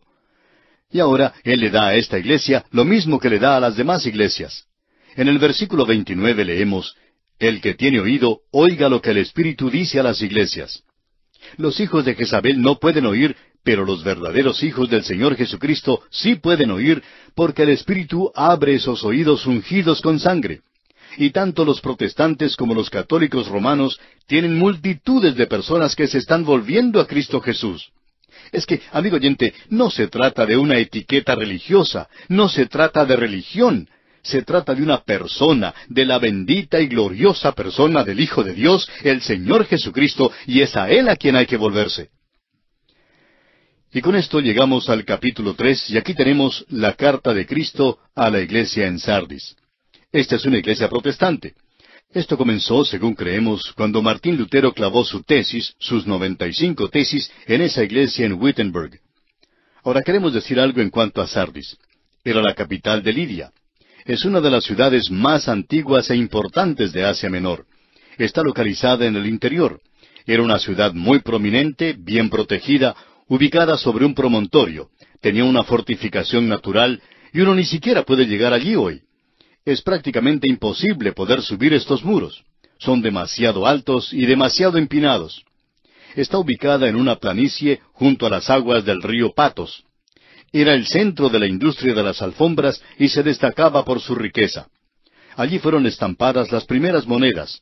Usted debe recordar que el último príncipe era un príncipe muy rico llamado Creso, a quien se le consideraba como el hombre más rico del mundo, y todo lo que él tocaba se convertía en oro. Ahora Sardis fue gobernada por los persas, por Alejandro, por Antipas el Grande y finalmente por los romanos. Fue destruida por un terremoto durante el reino de Tiberio. Ahora al pie de esa montaña se encuentran las ruinas del templo de Cibeles y también el de Apolo. Tenía uno de los pocos templos dobles que uno encuentra en el mundo. Cibeles o Diana, como era conocida en Éfeso, pero cuando uno avanza más al interior, se convierte en la diosa de la naturaleza. Ella era la diosa de la luna. Apolo era el dios del sol. Era una adoración muy corrupta, tal cual lo era la adoración a Diana de los Efesios. En nuestros días se está realizando excavaciones en este lugar y se está reconstruyendo el gimnasio, reedificando también la sinagoga y también se ha excavado ese camino romano. Cuando uno contempla ese camino, puede emocionarse pensando que allí fue por donde pasó el apóstol Pablo. Ahora el primer versículo de este capítulo tres de Apocalipsis nos dice, Escribe al ángel de la iglesia en Sardis, el que tiene los siete espíritus de Dios y las siete estrellas, dice esto, Yo conozco tus obras, que tienes nombre de que vives y estás muerto.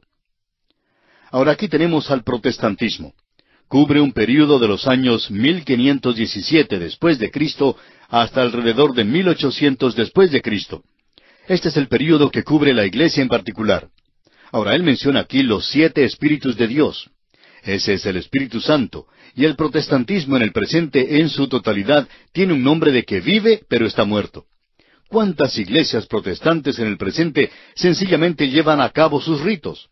Están construyendo todo el tiempo. La gente viene, especialmente los domingos por la mañana. No hay mucha gente durante los servicios de mitad de semana, cuando en realidad deberían estar presentes para escuchar la palabra de Dios. Pero el protestantismo del día de hoy tiene nombre de que vive, pero está muerto. Y él se presenta a sí mismo a esta iglesia como aquel que tiene los siete espíritus de Dios, es decir, él es quien ha enviado al Espíritu Santo al mundo y a la iglesia en el presente. El protestantismo necesita que el Espíritu de Dios obre en la iglesia. Nosotros pensamos que necesitamos métodos y hay muchos cursillos para los creyentes. Usted piensa que para los problemas se debe buscar algo sencillo. Amigo oyente, lo que se necesita es tener a la persona de Cristo, que sólo el Espíritu Santo puede hacer real para nosotros, que puede hacer que viva para nosotros. Esto es lo que necesita el protestantismo en el presente y durante la tenebrosa noche de la edad de las tinieblas, el Espíritu Santo aún estaba obrando en el mundo, haciendo su tarea. Él actuó en el corazón de un hombre como Martín Lutero, Juan Calvino, Juan Knox y muchos, muchos otros. El Señor Jesucristo dijo, Yo conozco tus obras. Esa es una palabra de encomio, y este es el período que recobró la doctrina de la justificación por la fe. Luego dice, que tienes nombre de que vives y estás muerto. Esta es una condenación terrible, y es un cuadro del protestantismo en el presente. Toda la verdad no fue recobrada por la Reforma, debemos reconocer eso, y creemos que la profecía escatológica recién se está desarrollando en nuestro día. Ahora el versículo dos de este capítulo tres de Apocalipsis dice, Sé vigilante y afirma las otras cosas que están para morir, porque no he hallado tus obras perfectas delante de Dios. Aquí tenemos la segunda palabra de su condenación. Y esta es una palabra de advertencia. Tenía un significado particular en Sardis. Como hemos dicho, Sardis se encontraba en la cima de una montaña. Hay muchos que han tratado de llegar allí, pero es prácticamente imposible. Tiene una entrada en la parte sur y esa era la única manera por la cual uno podía llegar a esa ciudad en aquellos días. Así es que todo lo que la ciudad de Sardis tenía que hacer era colocar una guardia en ese lugar y podía defender a la ciudad. Pero en dos ocasiones esa guardia se durmió. Una de ellas fue cuando Ciro llegó a esa ciudad. Él era persa, y los medos vinieron y se apoderaron de la ciudad. Y luego, otra vez, Seleuco lo hizo más tarde. Por ejemplo, un soldado medo persa subió al parapeto mientras los guardias dormían, y eso ocurrió en el año 549 a.C. Y en el año 218 a.C., un soldado cretense se deslizó de la misma manera sobre los muros mientras los centinelas no prestaban atención. Y el Señor le dice algo a esta iglesia. ¿Te despertaste y vigilaste? Esto era algo embarazoso para ellos. Se habían dormido. Ahora Él les dice que va a ir a ellos y que por tanto deben estar vigilantes. Y eso es lo que Él le está diciendo al protestantismo en el día de hoy. Y el protestantismo, como un todo, ha apartado su mirada de la venida de Cristo Jesús y se han creado temas por los cuales ciertas cosas tienen que ser cumplidas antes que Él pueda venir. Amigo oyente, no hay mucho que nos separe desde este instante hasta la venida de Cristo por su iglesia. Él puede venir en el próximo momento, o quizá mañana. Ahora no vaya a decir usted que nosotros hemos dicho que Él viene mañana porque no lo sabemos. Puede que pasen cien años, pero eso es lo que nosotros debemos esperar. Sardis no sabía cuándo venía el enemigo, y nosotros no sabemos cuándo Cristo viene. No tenemos ninguna forma de saber esto. Ahora el protestantismo recobró la autoridad de la palabra de Dios, la depravación total del hombre, la justificación por la fe, o sea que reafirmó la validez de estas doctrinas. Pero hay muchas otras que no se recobraron. Vamos a comenzar hoy con el versículo dos, y aquí tenemos una carta de Cristo a la iglesia en Sardis, una iglesia protestante. Ahora estas fechas que hemos mencionado no son fechas fijas, son nada más que fechas aproximadas, desde el año 1570 después de Cristo hasta aproximadamente 1800 después de Cristo. Ahora, la razón por la cual estamos dando estas fechas es que comienza con la reforma de Martín Lutero, y esto nos lleva hasta el comienzo de la gran era y esfuerzo misioneros en la historia de la Iglesia. Este es un cuadro del protestantismo y no es un cuadro muy lindo que digamos. El Señor no encuentra mucho aquí por lo cual elogiarnos. En realidad, Él le dice a esta iglesia, como vimos en el programa anterior, aquí en el versículo dos de este capítulo tres, sé vigilante y afirma las otras cosas que están para morir, porque no he hallado tus obras perfectas delante de Dios. Este es un versículo tremendo.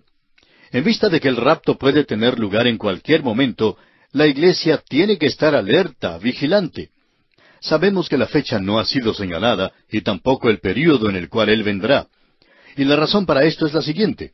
La iglesia tiene que estar constantemente alerta, esperando su venida, aguardando esa bendita esperanza.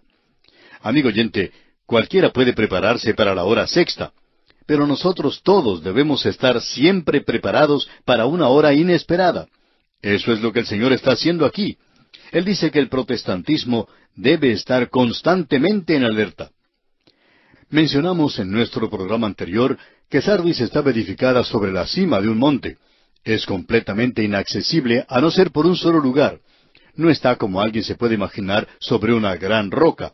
Toda esa zona está formada por un terreno aluvial, Quizá usted no pueda ver otro lugar como este donde hay tanta erosión del suelo como la que existe en Turquía. Esa es la razón por la cual el río Meandro no es de agua solamente, sino de apariencia de sopa, como dijimos ya en un programa anterior, que está llevando y está bajando tanta tierra, tanto sedimento, y esto ha llenado, enarenado completamente el puerto. Así es que después de dos mil años, el puerto al cual había arribado Pablo en su viaje misionero ahora se encuentra a unos diez kilómetros de la costa de Éfeso. Ahora en Sardis también tenemos una erosión constante. Sir William Ramsey calculó que tenía una altura mucho mayor en la época de Pablo y de Juan, lo que haría de esto más impresionante de lo que es hoy y también más inaccesible. Y a pesar de todo esto, Ciro, el soldado medo-persa, en el año 549, pudo entrar a ese lugar porque la guardia se había dormido. Y luego los cretenses en el año 218 después de Cristo fueron capaces de pasar a través de la guardia del lugar porque también estaba dormida. En ambas ocasiones fue capturada porque se había dormido la guardia. De modo que el Señor le dice a la iglesia que no se duerma, que esté vigilante, porque Él puede venir en cualquier momento. Y esta es una palabra de advertencia para esta iglesia. Y luego le dice, afirma las otras cosas que están para morir. Las grandes verdades que fueron recobradas en la Reforma se están perdiendo en el presente. Por ejemplo, la autoridad de la palabra de Dios. En su gran mayoría, la Iglesia protestante ha perdido eso. Y la doctrina de la depravación total del hombre, la mayoría de las iglesias, incluyendo muchas de tendencia conservadora, están mejorando y utilizando cosméticos en la naturaleza carnal del hombre, pensando que de una forma u otra uno puede presentar algunas normas y reglas y que uno va a poder vivir la vida cristiana. También la doctrina de la justificación por la fe ha sido perdida en su gran mayoría, y se ha introducido hoy un método legal que dice que debemos hacer algo para poder ser salvos. Estas son las cosas que caracterizan al protestantismo en el presente, y está muy lejos de la posición original. Ahora, en el versículo cuatro de este capítulo tres de Apocalipsis, el Señor Jesucristo le dice a esta iglesia, Pero tienes unas pocas personas en Sardis que no han manchado sus vestiduras, y andarán conmigo en vestiduras blancas, porque son dignas. Israel, como ya hemos notado, nunca fue un cuerpo constituido de la totalidad de la vida nacional. Siempre fue un remanente que se mantenía fiel a Dios.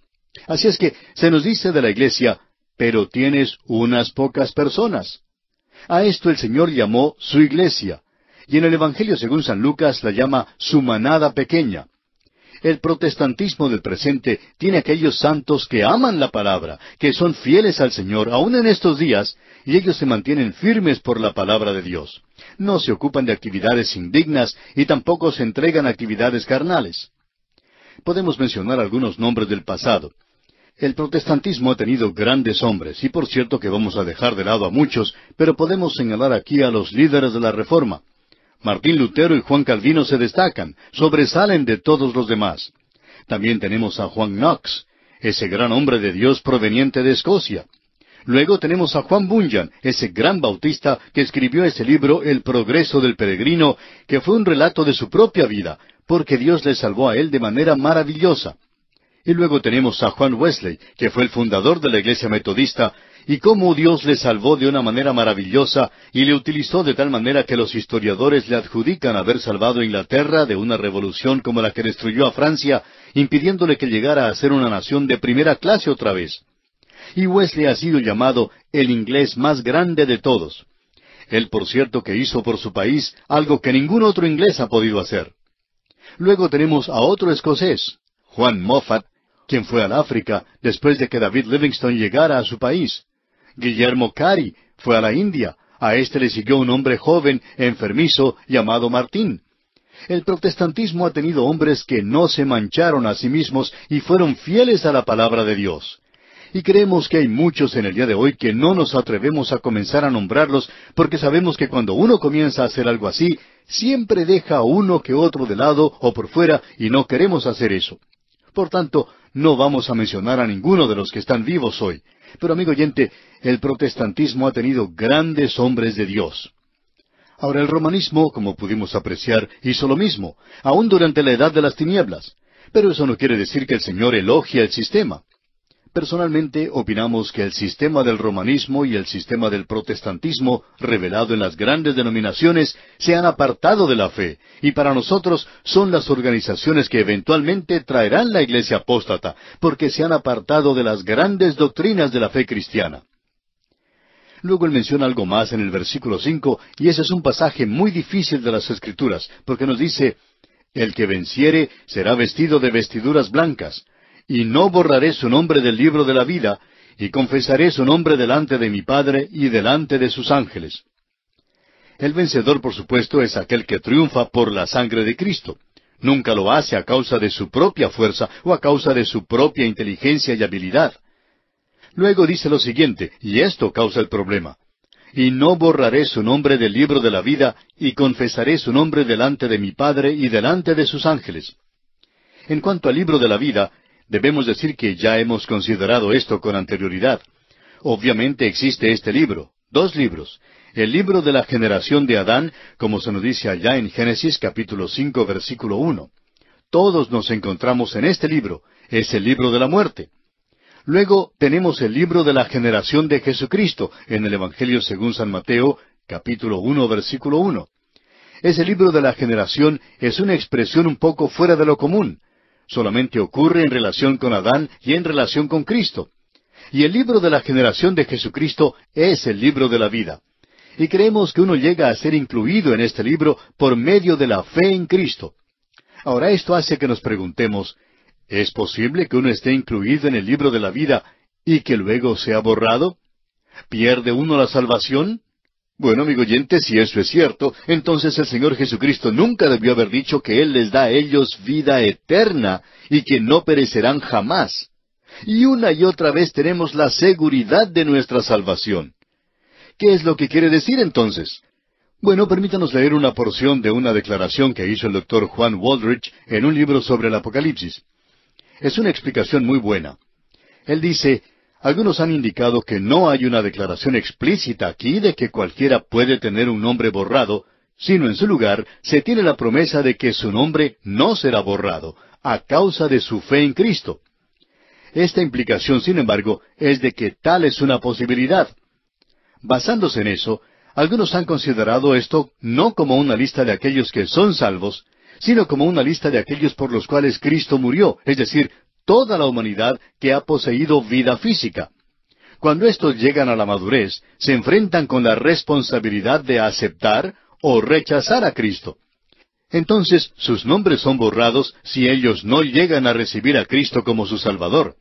Mientras que aquellos que así aceptan a Cristo como su Salvador son confirmados en su posición en el libro de la vida y sus nombres son confesados ante el Padre y los ángeles celestiales. Hasta aquí la declaración del doctor Waldridge.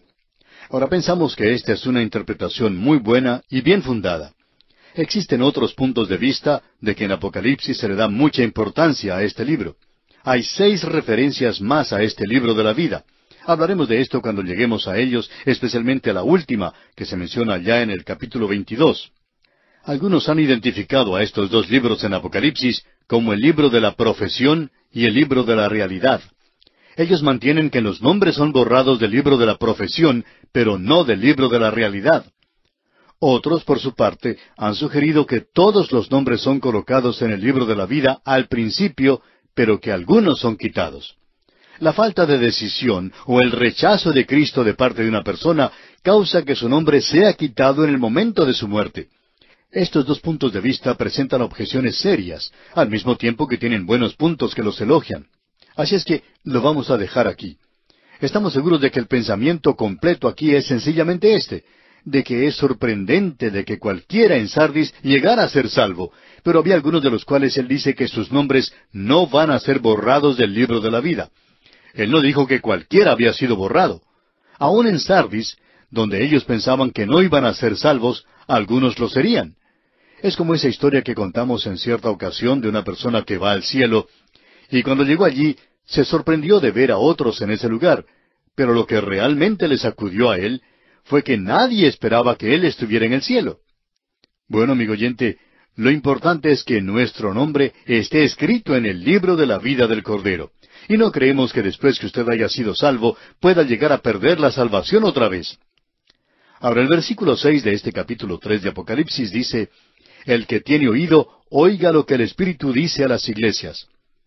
Nuevamente debemos decir que este oído es aquel que ha sido untado o ungido, y es el que necesita oír la voz del Espíritu enseñando a través de la palabra de Dios el mensaje de Cristo a través de su iglesia hoy.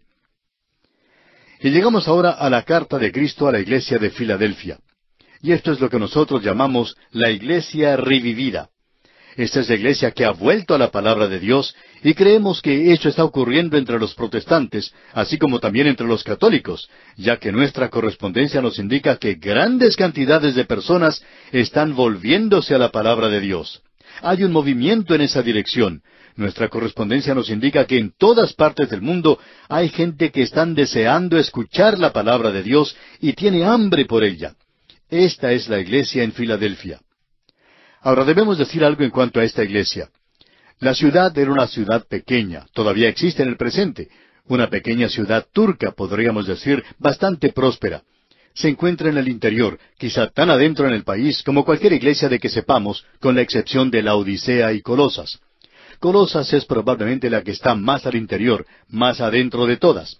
Pero como dijimos, esta iglesia de Filadelfia se encuentra bien en el interior y era como una colonia griega que se encontraba en esa área de Anatolia que los griegos, por supuesto, consideraban pagana. La palabra que los griegos utilizaban entonces era bárbaro en aquellos días. Ahora este lugar se encuentra a unos doscientos o doscientos cincuenta kilómetros de la costa, por cierto desde Izmir o Esmirna, o aún más lejos de esto desde Éfeso. Esta es una iglesia, junto con Esmirna, para la cual el Señor Jesucristo no tuvo ninguna palabra de condenación. ¿Por qué? Porque había vuelto a la palabra de Dios, y es interesante notar que las dos iglesias a las cuales Él no condenó hay algo que todavía existe, aunque la iglesia ya ha desaparecido. Sin embargo, en Filadelfia existe algo que es muy interesante, de lo cual queremos contarle algo en nuestro estudio. En primer lugar, existen las ruinas de una iglesia bizantina que revela que el cristianismo estaba vivo en esa zona hasta el siglo XII o XIII, y que la gente que cuida de esa zona debe ser cristiana. El autor de estos estudios bíblicos, el doctor J. Vernon McGee, contaba que él pudo visitar esa zona y se encontró con algunas personas con las cuales no pudo conversar, pero a través de la generosidad de ellos, de la bondad que demostraron, podían comunicar algo del amor cristiano. Ahora en esa zona existe una columna. Hay muchos que señalan esto indicando que allí había en una ocasión un gran anfiteatro. No está allí ahora, ha sido destruido completamente. Y lo único que queda es esa columna. Y está oculta entre los árboles. Ahora la pregunta surge de ¿por qué hizo eso el gobierno? Bueno, le diremos por qué, amigo oyente. Porque allí habían dado muerte a todos los creyentes de Filadelfia y ellos prefieren que usted y yo nos olvidemos de esto. Pero esa iglesia en el siglo XIII era una iglesia misionera y testificó por Cristo. Esa es la iglesia que honró la palabra de Dios.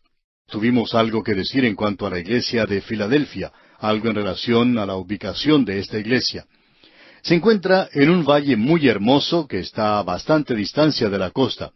Estaba situada en un extremo del ancho valle del río Kogamis, tributario del Hermo, y desemboca en el mar cerca de Esmirna. Es una zona muy hermosa y la ciudad está ubicada en uno de los valles más amplios. Construida contra la ladera de la montaña, ya que hay varias montañas en esa zona. La ciudad antigua existía en los días de Juan y probablemente en los días de Pablo y de los apóstoles. Tenía una gran acrópolis, un gran teatro, y la ciudad estaba construida al pie de la montaña. En el presente la ciudad se ha esparcido bastante y es una típica ciudad turca. Está en una zona muy propensa a los terremotos. Algunos han hecho la pregunta, ¿qué sucedió con la gran población que existía en esa zona?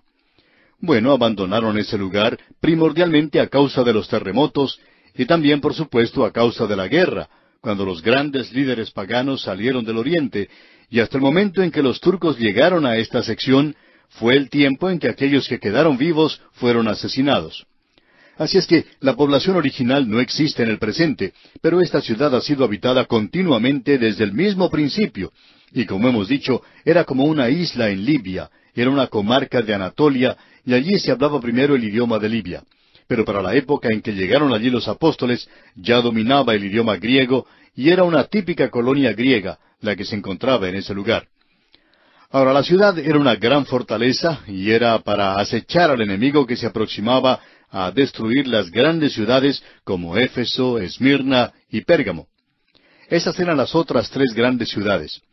Las otras ciudades también eran grandes fortalezas donde la guarnición era llevada para detener al enemigo o demorarle cuando marchaba hacia la costa oriental. Esta es una zona donde existe mucha erosión del terreno y el suelo es muy aluvial, pero muy fértil. Allí crecen hermosos árboles de laurel, muchas flores, y allí crece cualquier clase de plantas que uno se pueda imaginar. Uno puede ver allí en la ladera de las montañas muchas viñas, y el dios que ellos adoraban allí era Baco, y esta gente se había entregado mucho a la idolatría. Pero el cristianismo, por cierto, que había logrado tomar una buena posición en esa zona. Ahora, la ciudad no obtuvo su nombre, como piensan muchos, de la Biblia. sino que recibió su nombre a causa del amor que existía entre Ciro II y su hermano Eumenes, quien era el rey de Pérgamo. Este hombre sentía un gran amor y lealtad por su hermano, y por eso es que la llamó la ciudad del amor fraternal. Este era un puesto de avanzada de la cultura griega, en una atmósfera asiática y de Anatolia. Allí había un templo griego a Baco, como ya hemos indicado. Esta ciudad se había entregado al paganismo de tal manera que se la llamaba la Atenitas. Y por cierto que era verdaderamente griega. Ahora, en el año 17 después de Cristo, la ciudad fue sacudida por un gran terremoto que la destruyó totalmente. Ese mismo terremoto destruyó completamente a Sardis y a muchas ciudades libias a través de esa zona. Tiberio el emperador designó un millón de dólares para la reconstrucción de esas ciudades, y ellas fueron construidas de nuevo. Este es el lugar donde los cristianos y los sarracenos lucharon durante las cruzadas, y también allí lucharon Turquía y Grecia en el año 1922, y parece que hay unos cuantos creyentes allí. No se dan a conocer, por supuesto, porque son perseguidos muy severamente, como ya hemos dicho anteriormente. Ahora, esta iglesia se encontraba en una zona muy estratégica para ser una iglesia misionera, porque eso es lo que es en realidad. A esta iglesia la hemos llamado la iglesia revivida, la iglesia que regresó a la palabra de Dios y comenzó a enseñar la palabra de Dios. Y eso representa, creemos nosotros, al protestantismo del presente. Comenzó, según creemos, en el siglo pasado y ha progresado desde entonces, de tal manera que la enseñanza de la Biblia no es algo nuevo de ninguna manera, sino que se convierte en algo realmente popular. Pensamos que hemos llegado en este programa de enseñanza bíblica a la cresta, digamos, de una ola de interés en la palabra de Dios. Es decir, que creemos que Dios ha levantado este programa para esta hora en particular. Ahora, en el versículo siete de este capítulo tres de Apocalipsis leemos Escribe al ángel de la iglesia en Filadelfia. Esto dice el santo, el verdadero, el que tiene la llave de David, el que abre y ninguno cierra, y cierra y ninguno abre. Aquí queremos volver a recordarle, amigo oyente, que el ángel es un mensajero humano, es el pastor de la iglesia. Y este es el método del Señor en todas estas iglesias. Él siempre presenta algo de esa visión del Cristo glorificado, el gran sumo sacerdote. Y Él les recuerda que Él es santo, él era santo en el momento de su nacimiento, fue santo en su muerte, y Él es santo hoy en su ocupación sacerdotal presente, y así se le llama.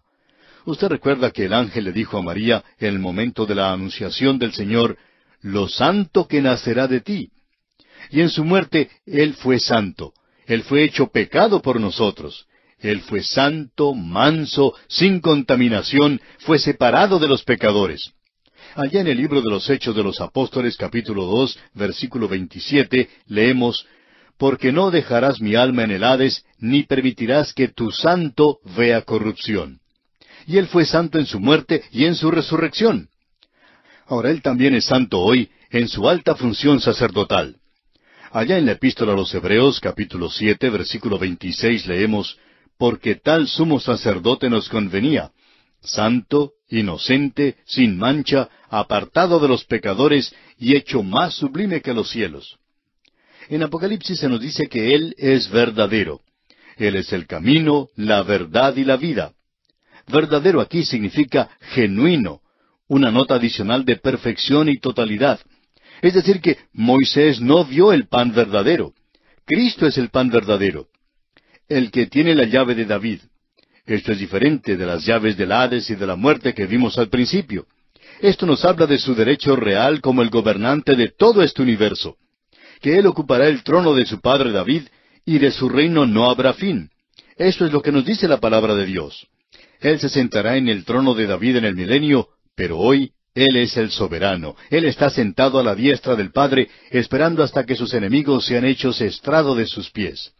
Él es el que abre y ninguno cierra, y cierra y ninguno abre. Y a causa de eso, Él es consuelo para aquellos que confían en Él en el presente. Luego dice a esta iglesia aquí en el versículo ocho de este capítulo tres de Apocalipsis, Yo conozco tus obras. He aquí he puesto delante de ti una puerta abierta, la cual nadie puede cerrar, porque aunque tienes poca fuerza, has guardado mi palabra y no has negado mi nombre. Este es el versículo que se ha tomado como tema de este programa, a través de la Biblia. Comenzamos con él al principio y significa mucho para nosotros. Ahora esta es la iglesia que se ha mantenido fiel a la palabra de Dios, y esta iglesia no puede ser llamada una iglesia protestante, como tampoco puede ser llamada una iglesia romana o ninguna otra clase de iglesia. Es en el día de hoy todas estas iglesias a través de todo el mundo que aún se mantienen fieles a la palabra de Dios. Y usted puede notar lo que dice aquí, yo conozco tus obras. El Señor Jesucristo, amigo oyente, está buscando fruto.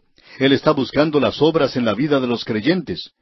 Nosotros hemos sido salvos por gracia, pero también hemos sido creados en Cristo Jesús para buenas obras, las cuales Dios preparó de antemano para que anduviésemos en ellas. Amigo oyente, hay algo que anda radicalmente mal con usted si usted no produce obras. Eso es lo que Santiago dice. Santiago, un hombre práctico que pasaba mucho tiempo de rodillas, pues era un gran hombre de oración, él fue quien dijo, Muéstrame tu fe sin tus obras, y yo te mostraré mi fe por mis obras. Ahora las obras no son obras de la ley, sino obras de la fe.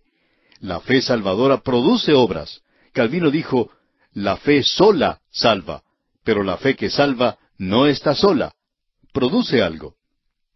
El Señor le dice aquí a la iglesia de Filadelfia, He aquí he puesto delante de ti una puerta abierta, la cual nadie puede cerrar. Esa podría ser una puerta al gozo del Señor o al conocimiento de las Escrituras. Personalmente opinamos que es una puerta al conocimiento de las Escrituras, lo que significa que si Él abre esa puerta, Él quiere que usted entre, amigo oyente, porque Él abrirá una puerta de la oportunidad para testificar y proclamar la palabra de Dios. Pensamos que las dos van juntas. Él dice aquí, porque aunque tienes poca fuerza, y eso es todo lo que tenemos nosotros, y a veces pensamos que no tenemos ni eso. Es decir, que este es un grupo de creyentes humildes que no tienen gran cantidad de personas o programas y edificios. Y nos cansa mucho cuando se presentan informes de gente que ha hecho esto y aquello, y a veces lo hacemos nosotros también. Informamos, por ejemplo, en cuántas emisoras se pasa este programa. Y nos gusta mucho hablar de estas cosas. Pero, amigo oyente, eso no vale nada. Hablamos de los cientos de cartas que nos hablan de aquellos que han aceptado a Cristo. Pero eso no es nada. Lo importante, amigo oyente, lo verdaderamente importante es si nosotros estamos proclamando la palabra de Dios. Él va a contar los números. Dios tiene su propia computadora. Él registra todo esto y Él nos pide que nosotros no lo hagamos. Pablo podía decir que él ni siquiera se juzgaba a sí mismo. ¿Y por qué no lo hacía? Bueno, él puede decirnos que quizá él pueda contar demasiados convertidos, puede hablar de manera evangelística, puede presentar una cantidad equivocada, puede mirar las cosas de una forma diferente de lo que hace Dios. Así es que va a tener que esperar hasta que llegue a su presencia. Luego se nos dice aquí, has guardado mi palabra. Y eso indica que en un día cuando se negaba la inspiración de las Escrituras, esta iglesia creía en la Biblia y creía que era la inspirada palabra de Dios un teólogo del siglo XX y por supuesto un liberal, declaró que ninguna persona inteligente podía creer en la inspiración verbal de la Biblia. Ahora eso nos pone a nosotros en una posición incómoda, por cierto. Por supuesto que no somos personas inteligentes, pero creemos en la inspiración de la Biblia, es decir, si la definición de este hombre es correcta, pero no creemos que él esté en lo correcto tampoco en eso. Ahora, la quinta cosa que se menciona aquí en esta carta a Filadelfia es la siguiente y no has negado mi nombre. Esto significa que en un día cuando la deidad de Cristo se niega abiertamente en los seminarios y desde el púlpito y en las iglesias, aquí tenemos una iglesia de creyentes que se mantiene firme, creyentes fieles a Él, que proclaman al Dios hombre y su muerte sustitutiva por los pecadores. Y luego dice en el versículo nueve de este capítulo tres de Apocalipsis, He aquí, yo entrego de la sinagoga de Satanás a los que se dicen ser judíos y no lo son, sino que mienten. He aquí, yo haré que vengan y se postren a tus pies y reconozcan que yo te he amado. El remanente de Israel que estaba siendo salvo había dejado la sinagoga en esa época. Ellos habían abandonado la ley como medio de salvación y santificación. Aquellos que continuaban en la sinagoga se encontraban ahora en una religión falsa. Y el apóstol Pablo presenta esto claramente en su epístola a los romanos de que todo Israel no es Israel. Ya no eran verdaderos judíos. Él consideraba como el verdadero Israel a aquel que se había vuelto a Cristo. Ignacio, según Trenchant y según Vincent, se refiere a una situación local donde los convertidos del judaísmo predicaban la fe que antes habían despreciado. A propósito, en el Imperio Romano se tomaba a los judíos y se los enviaba a zonas áridas con el propósito de formar una colonia, de colonizar esa zona, lo cual ellos hicieron en esta sección. Y esa es la razón por la cual había tantos de ellos allí. Ahora el Señor Jesús también quiere hacer saber a los enemigos de la iglesia de Filadelfia que Él ama esta iglesia. Este es el sexto punto de su elogio. Luego Él dice aquí en el versículo diez, Por cuanto has guardado la palabra de mi paciencia, yo también te guardaré de la hora de la prueba que ha de venir sobre el mundo entero para probar a los que moran sobre la tierra. La última palabra de encomio a esta iglesia es que ha guardado la palabra de Cristo en paciencia. Esto evidentemente es la espera paciente por la venida de Cristo por los suyos. Se ha notado en el siglo pasado que las doctrinas de escatología se han desarrollado más que en todos los siglos previos combinados. Durante los años pasados ha habido un avivamiento en Israel, en Europa y en América, en realidad en todo el mundo en cuanto a la segunda venida de Cristo. Aún los liberales hablan de esto de vez en cuando. Ahora, el libro de Jesucristo es el libro de la vida. ¿Están todos los nombres de la familia humana inscritos en ese libro del cual hablamos anteriormente? Bueno, no podemos responder a esto. Pero sí sabemos que aquellos que son salvos serán llevados a encontrar al Señor en las nubes en el rapto de la iglesia.